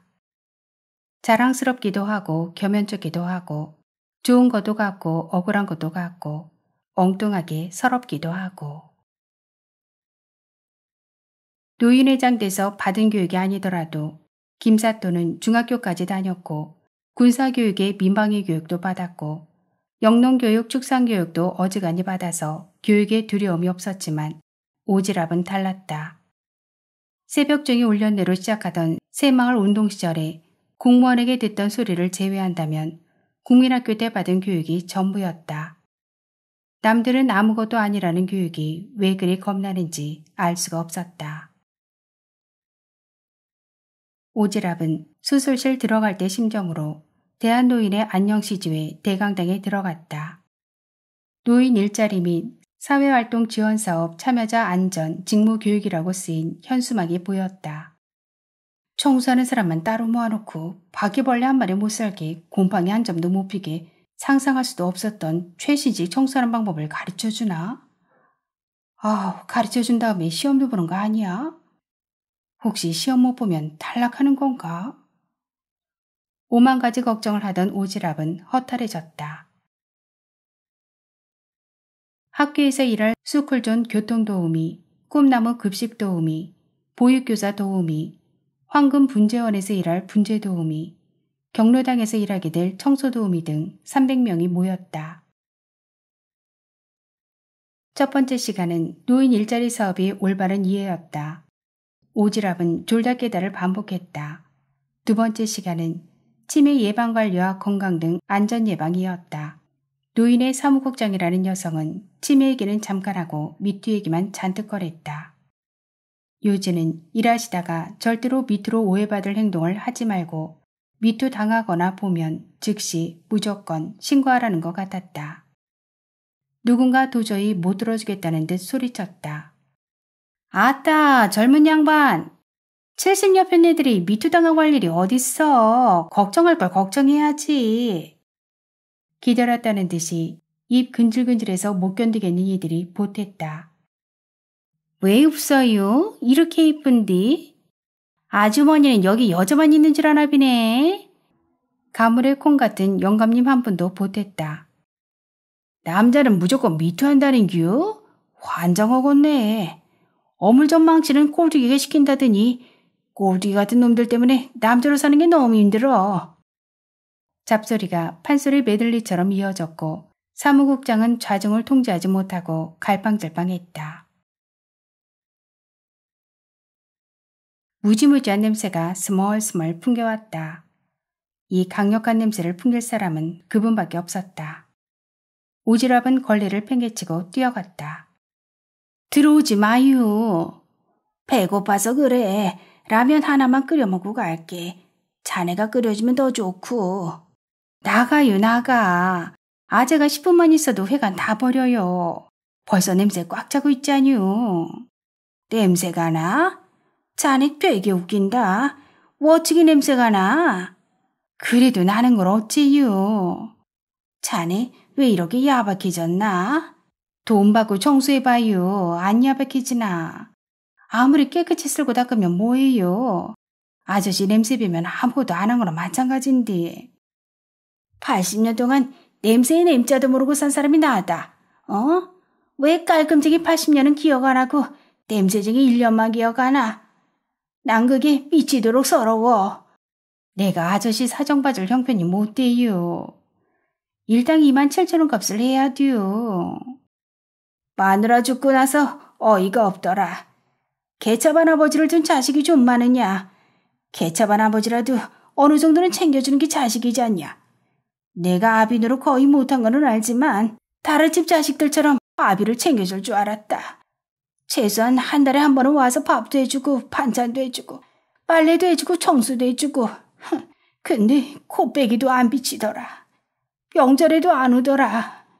내가 간다니까 올라오지도 못하게 해. 자비도 안 주고 주소도 안 가르쳐줘. 그니까 좀잘 오시지 그랬슈. 라면 끓일 줄 알면 밥도 할 줄 알자니요. 집에 가서 드셔요. 여기서는 안 돼요. 밥 할 줄 안다. 밥통에도 물 붓고 쌀 붓고 쥐사 누르면 되잖아. 몇 번 해 먹어봤다. 오래 놔두니까 곰팡이가 피대. 하도 배고파서 푸르댕댕한 건 뼛속을 퍼먹고 배달 나서 퇴질 뻔했다. 그 이후로는 집에서 밥 해본 적 없다. 나가라니까 진짜 말 많으시네요. 우리 남편 곧 올기요. 우리 남편이 경고에 있지요. 한 번만 더 마을회관에 들어오면 다리 몽둥이를 부러뜨린다고. 경치기 전에 얼른 나가라고요. 내가 밥은 안 해 먹었지만 빨래는 해 입었다. 뭐가 어려워? 세탁기 해놓고 돌리면 되잖아. 자주 돌린 건 아니지만 한 달에 한 번은 돌렸어. 근데 냄새가 난대. 노인네한테 냄새가 나는 거 당연하잖아. 근데 나한테 유독 심하게 난대. 나한테는 서울역 누숙자보다 열 배는 심한 냄새가 난대. 자네도 내 냄새 몇 번 맡아봤지? 에휴. 근데 내 냄새가 그렇게 심했어? 지금도 맡고 있자뇨. 코메어 미치겠시오. 아재 냄새는 100m 밖에서부터 나요. 사람 참 못쓰게 변했어. 돈이 무섭구나 무서워. 착한 오지랖이 돈 2만 7천 원 때문에 일가친적 아저씨를 밥도 안 먹이고 내주는구나. 채, 비켜라 비켜. 난 들어갈란다. 안 듀, 안 듀. 오지랖대 왜 그리야? 정신 차려. 뭔 잠꼬대를 그렇게 해? 오지랖이 눈을 떠보니 동갑내기 타짜댁이었다. 아이고 살았다. 꿈에서 냄새쟁이 아재를 만났지 뭐야. 잠꼬대 할만하네. 냄새쟁이 살았으면 청소만만 도로 못해 먹을걸. 냄새쟁이가 여기 한번 들어오면 청소나 많아지. 그렇잖아도 꿈에 막 나타나서는 여기 어디 계신 거 아닐까? 오지랖은 두려운 눈초리로 이방저방을 훑어보았다. 아휴, 하던 청소 해야지. 걸레질하다가 깜빡 졸았어. 깨끗하고만 뭘 더덕까? 타짜댁이 킁킁했다. 바카스 먹었어? 걸레를 바카스물에 빨았어. 냄새 없애는데 직방이야. 관광버스 모는 조카가 가르쳐줬어. 홍어 냄새도 빼는 게 바카스래. 무슨 냄새가 난다고? 냄새 중에 아재 냄새가 나는 것 같아서. 아이고, 큰일 났다, 큰일 났어. 청소도 완전 노이로제 걸렸네.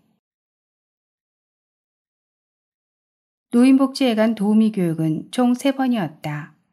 9월에 중간점검 교육이 있었다. 학수고대하던 점심시간. 요새 큰 인기라는 새마을 식당에 갔다. 뷔페라 먹고 싶은 것을 먹고 싶은 만큼 먹을 수 있었다. 육경면에서 온 경로당 청소도우미 19명이 나란히 앉았다. 사는 리는 달라도 면 단위에서 수십 년을 더불어 살아온 이들이라 거지만 이렇게 저렇게 아는 사이였고 안다고 할 수 없는 사이라도 얼굴은 익었다. 웜에 1인당 8천원이네. 저번에는 5천원짜리 된장찌개 주더니 어쩐 일이랴? 이렇게 비싼 점심을 사주는 거 보니까 노인네가 돈이 많은가 비요. 순진하게는 단체 300명인데 엄청 깎아먹었겠지. 빨리 먹어봐야 뭐요. 우리네는 천천히 먹자고. 근데 이번에도 청소하는 법은 안 가르쳐 주네요. 순진하기는 청소도 안 해본 것들이 청소 선수들한테 뭘 가르쳐. 우리가 가르치면 가르쳤지. 가르쳐 줄 것은 없고 가르쳐 줬다고 하면서 사업비는 써야 되니까 아무거나 하는겨. 우리는 그냥 듣는 동 마는 동 있다가 가면 돼요. 밥 먹으러 왔다 생각하고 겁나게들 먹으라고. 여기 내가 몇 번 와봤는데 되게 맛있어. 결혼식 뷔페보다 10배는 맛나다. 그냥 집 청소하듯이 하면 되는 거 맞죠? 내가 하고 있는 청소가 돈 주는 데서 원하는 청소인지 걱정스러워서. 누가 아까부터 수저녀 첫날 밤 치르는 소리를 하는겨? 이구? 네 오지랖댁이구먼. 그래요. 오지랖댁은 그러고도 남지. 내가 청소해본 데서 정말 힘들었던 데는 아파트 계단이요. 아이고 20층 꼭대기부터 한 계단 한 계단 내려오면서 닦아봐. 미치지 미쳐. 병원 청소 해봤남? 특히 수술 막 끝내고 상상이 안 가지? 제일 쌀 때가 심야에 애 태어난 수술실이라니께. 한밤중에 애가 나온겨. 피덩이가 장난 아니거든. 뭐 그까짓 걸 가지고 그련디야? 난 죽은 사람도 닦아봤구먼. 밥 먹으러 와서 꼭 이런 얘기를 해야 돼요. 진짜 무서운 청소는 부잣집 청소요. 하나같이 비싼 거라 식은땀이 줄줄 난다니까.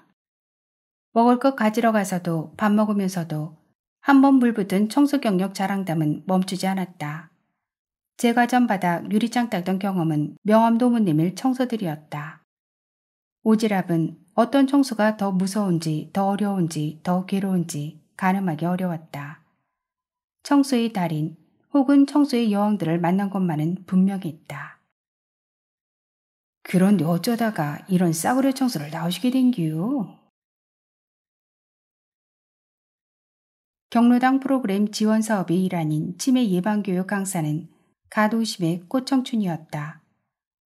첫 주엔 노인회 장 내외가 애쓴 보람이 있어 23명이나 모였다. 어머님들 아버님들 치매 방지 하나만 명심하면 됩니다. 머리를 계속 쓴다. 치매 머리가 굳는다는 겁니다. 머리를 계속 써주면 쉽게 굳지 않습니다. 치매 예방 수칙을 말씀드릴게요. 일주일에 세 번 이상 걷기, 틈틈이 읽기, 그리기, 쓰기, 음식 골고루 먹기, 머리 절대 부딪히지 않기, 술 조금 마시기, 금연. 이런 얘기를 늘어놓고는 스케치북과 색색펜을 나누어 주었다. 아무거나 그려보라고 했다. 까마득한 옛날, 그림 일기 쓸 때 그려보고는 뭘 그려본 적이 없는 이들이라 그리지는 않고 고시랑대기만 했다. 아무거나가 제일 어렵다고 들었는데 정말 아무거나가 어렵구만. 그러지 말고 뭘 그리라고 해주셔. 정 그르게 떠오르지 않으면 어머님이 가장 사랑하는 사람 얼굴을 그리셔요. 자식 없는 사람은 아버님 그리면 되죠. 영검태기 얼굴을 왜 그려? 만날 보는 것도 지겹구만. 그랴 꿈속에서 만나는 것도 지겨워. 두 번째 주엔 딱 두 명만 나왔다. 하도 청소를 심하게 해서 청소마마라는 새 별명을 얻은 오지랖과 회관을 자기 집으로 아는 타자떼. 강사가 색종이를 나누어 주었다. 화투 잘 치고 유잘 던지는 타자댁은 강사보다 더 잘 접었다. 우와, 선수시네요, 선수. 내가 손으로 하는 건 다 잘한다우. 오지랖은 강사가 붙잡고 가르쳐 주었는데도 엉망이었다. 배는 모자 같았고 학은 거북 같았다. 너무 슬퍼하신다. 접었다는 게 중요하지 모양 빠져도 상관없어요. 내가 이렇게 못 접는 사람이었나 기맥혀서 그려. 세 번째 주에는 글쓰기였다. 자식이든 남편이든 손주든 옛사랑이든 누군가에게 편지를 써보라고 했다. 타자떼기 쓴 글을 보고 강사가 칭찬해 주었다. 잘 쓰셨습니다. 열심히 썼다는 게 중요하거든요. 못 썼다는 얘기? 그러고 보니 내가 손으로 못하는 게 딱 하나 있구만. 바로 글짓기요. 오지랖이 남편에게 쓴 편지를 읽고 강사가 휘둥그레졌다. 우와, 어머님 잘 쓰시네요. 당사자는 겸은쩍어서 댓글을 못하고 타자떼기 추어 올렸다. 청소마마님이 읽고 쓰기 하나는 우리 면에서 탑이라오. 역경이 부녀회원 50명이 평생 읽은 책보다 청소마마 혼자 읽은 책이 더 많을걸. 일기까지 쓰고 그러니 그 뱃속에서 작가가 안 나오고 배기요. 아들이 작가세요? 강사는 작가라는 직업에 대해 좀 아는가 보았다. 작가를 둔 어머니로서 20년 동안 한 번도 들어보지 못한 말을 강사가 해주었다. 배골른 직업인데 아이고 하고 혀차는 소리만 듣다가 작가가 이 사회에 얼마나 소중한 존재냐면요. 하면서 시작된 굉장한 얘기에 괜스레 뿌듯해졌다. 이렇게 작가를 알아주는 사람한테는 달라고 하지 않아도 주고 싶은데 강사가 먼저 아드님 책 한 권 얻어볼 수 있느냐고 했다. 일주일 후 한 달 전에 나온 아들의 소설집 한 권을 주었더니 강사는 굳이 책값을 내놓았다. 꽃종이 봉투에 곱게 담아서 작가 아들에게 전해달라는 것이었다. 책은 돈 주고 사보는 거라며. 또 일주일 후 강사는 책을 낱낱이 읽은 모양이었다. 듣기에 황감한 치사를 해주었다. 아이고 눈물이 날라고 그러네. 내 아들 소설 진짜 읽은 사람은 남편 국민의 교동장 서울 사는 꽃잎이 그리고 딱 세 번째 만나요. 근데 어머님 아버님 얘기 맞죠? 그러기에 내 얘기를 쓰니까 안 팔리는 거겠죠. 나라도 시골 읽은 이 얘기 재미없어서 안 사겠네. 아니에요, 아니에요. 꼭 필요한 이야기예요. 강사는 문득 오지랖의 두 손을 맞잡았다. 어머니, 오래오래 건강하게 사셔야겠어요. 누구나 그래야죠. 듣기 어머니는 오래오래 건강하게 살면서 아드님이 쓸 이야기를 많이 많이 만들어 주셔야 해요. 오지랖은 가슴뼈가 무지끈했다. 역경리 노인의 2018년도 연말총회 노인들이 노인 강령을 읽느라 한 목소리를 냈다. 존경받는 노인이 되도록 노력한다. 2. 우리는 격려유친이 윤리관과 전통적 가족제도가 유지 발전되도록 힘쓴다. 3. 우리는 청소년을 선도하고 젊은 세대에 봉사하며 사회 정의 구현에 앞장쓴다. 노인 회장이 인사말을 했다. 예, 김사또입니다.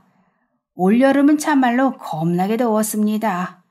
그 더위에도 불구하고 무사히 살아주셔서 감사합니다. 우리가 사는 목표는 하나뿐인 것 같습니다. 자식들에게 짐되지 않고 살아내기. 자, 건배 제의하겠습니다. 내년에도 강령하자! 강령하자! 그러고 안내드릴 말씀이 있습니다. 올해는 뷔페 음식으로 바꿨습니다. 우리 노일의 예산으로 나오는 돈이 400만 원 조금 못 되는데 나눠드린 회계보고서 보시면 알겠지만 딱 맞춰 썼어요. 돈 남겨봤자 골치 아프고 남은 돈으로 오늘 1인당 2만 5천 원짜리 특급 뷔페 먹으면 끝입니다. 그러니까 맛있게 드시고 신나게 노셔요. 그리고 우리는 주가 공연 같은 거 없냐는 분들도 계셨는데 그래서 불렀습니다. 우리 동네 가수왕 팔방미가 고등학교에서 댄스반을 이끌고 있답니다. 팔방미가 댄스반에다 국악반 친구들까지 데려와서 효도 공연을 해주겠대요. 노인들에게 그토록 갈지할 기운이 있었던가. 멀리 경상도 경주에서 난 지진으로 덩달아 흔들렸을 때처럼 회관이 들썩였다. 그러고 남편 잘못 만나서 매년 노인의 연말총회 때 100명분 밥한 사람이 있습니다. 연말총회 때만 했남요. 시시때때로 했죠. 면석이들 밥도 여러 번 차려주더만. 이제는 그 사람이 더 이상 밥할 일 없을 겁니다. 무조건 피폐 부를 겁니다. 그러고 그 사람이 아무도 하겠다는 사람이 없어서 할 수 없이 10개월 동안 청소 도우미를 했습니다. 그간 바빠고 청소하느라고 애써주신 우리 오지랖 여사에게 박수 한번 부탁드립니다. 아까보다는 약했지만 충분히 잘 감격하는 가슴 뭉클할 만한 박수 소리가 있었다. 정수마마님 한마디 하쇼! 지지하는 소리가 잇따랐다. 엉거주춤 일어선 오지랖은 곧 눈물이라도 쏟아낼 것 같은 얼굴이었다. 겁을 먹어 잔뜩 긴장한 탓이었다.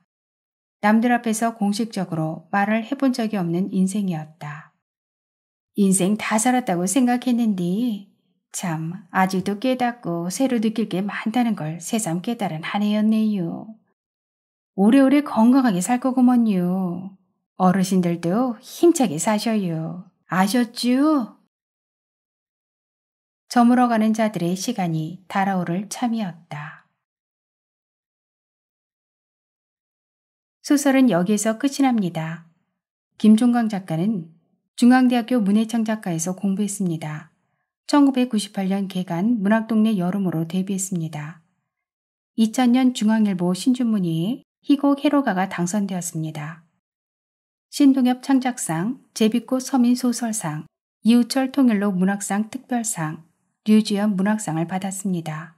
소설집으로 경찰서여 안녕, 모내기 블루스, 낙서문학사, 처음의 아이들, 놀러가자 고요가 있고 중편소설 71년생 다인이, 죽음의 한일전, 청소년 소설, 처음 열애, 착한 대화, 조선의 나그네 소년 장보기, 장편소설, 야살쟁이로, 율련 악원구, 군대 이야기, 첫 경험, 똥기 행진곡, 왕자 이후, 별이별, 조선통신사, 산문집, 사람을 공부하고 너를 생각한다. 웃어라 내 얼굴 등이 있습니다. 긴 시간 함께 해주셔서 감사합니다. 오늘도 행복하세요.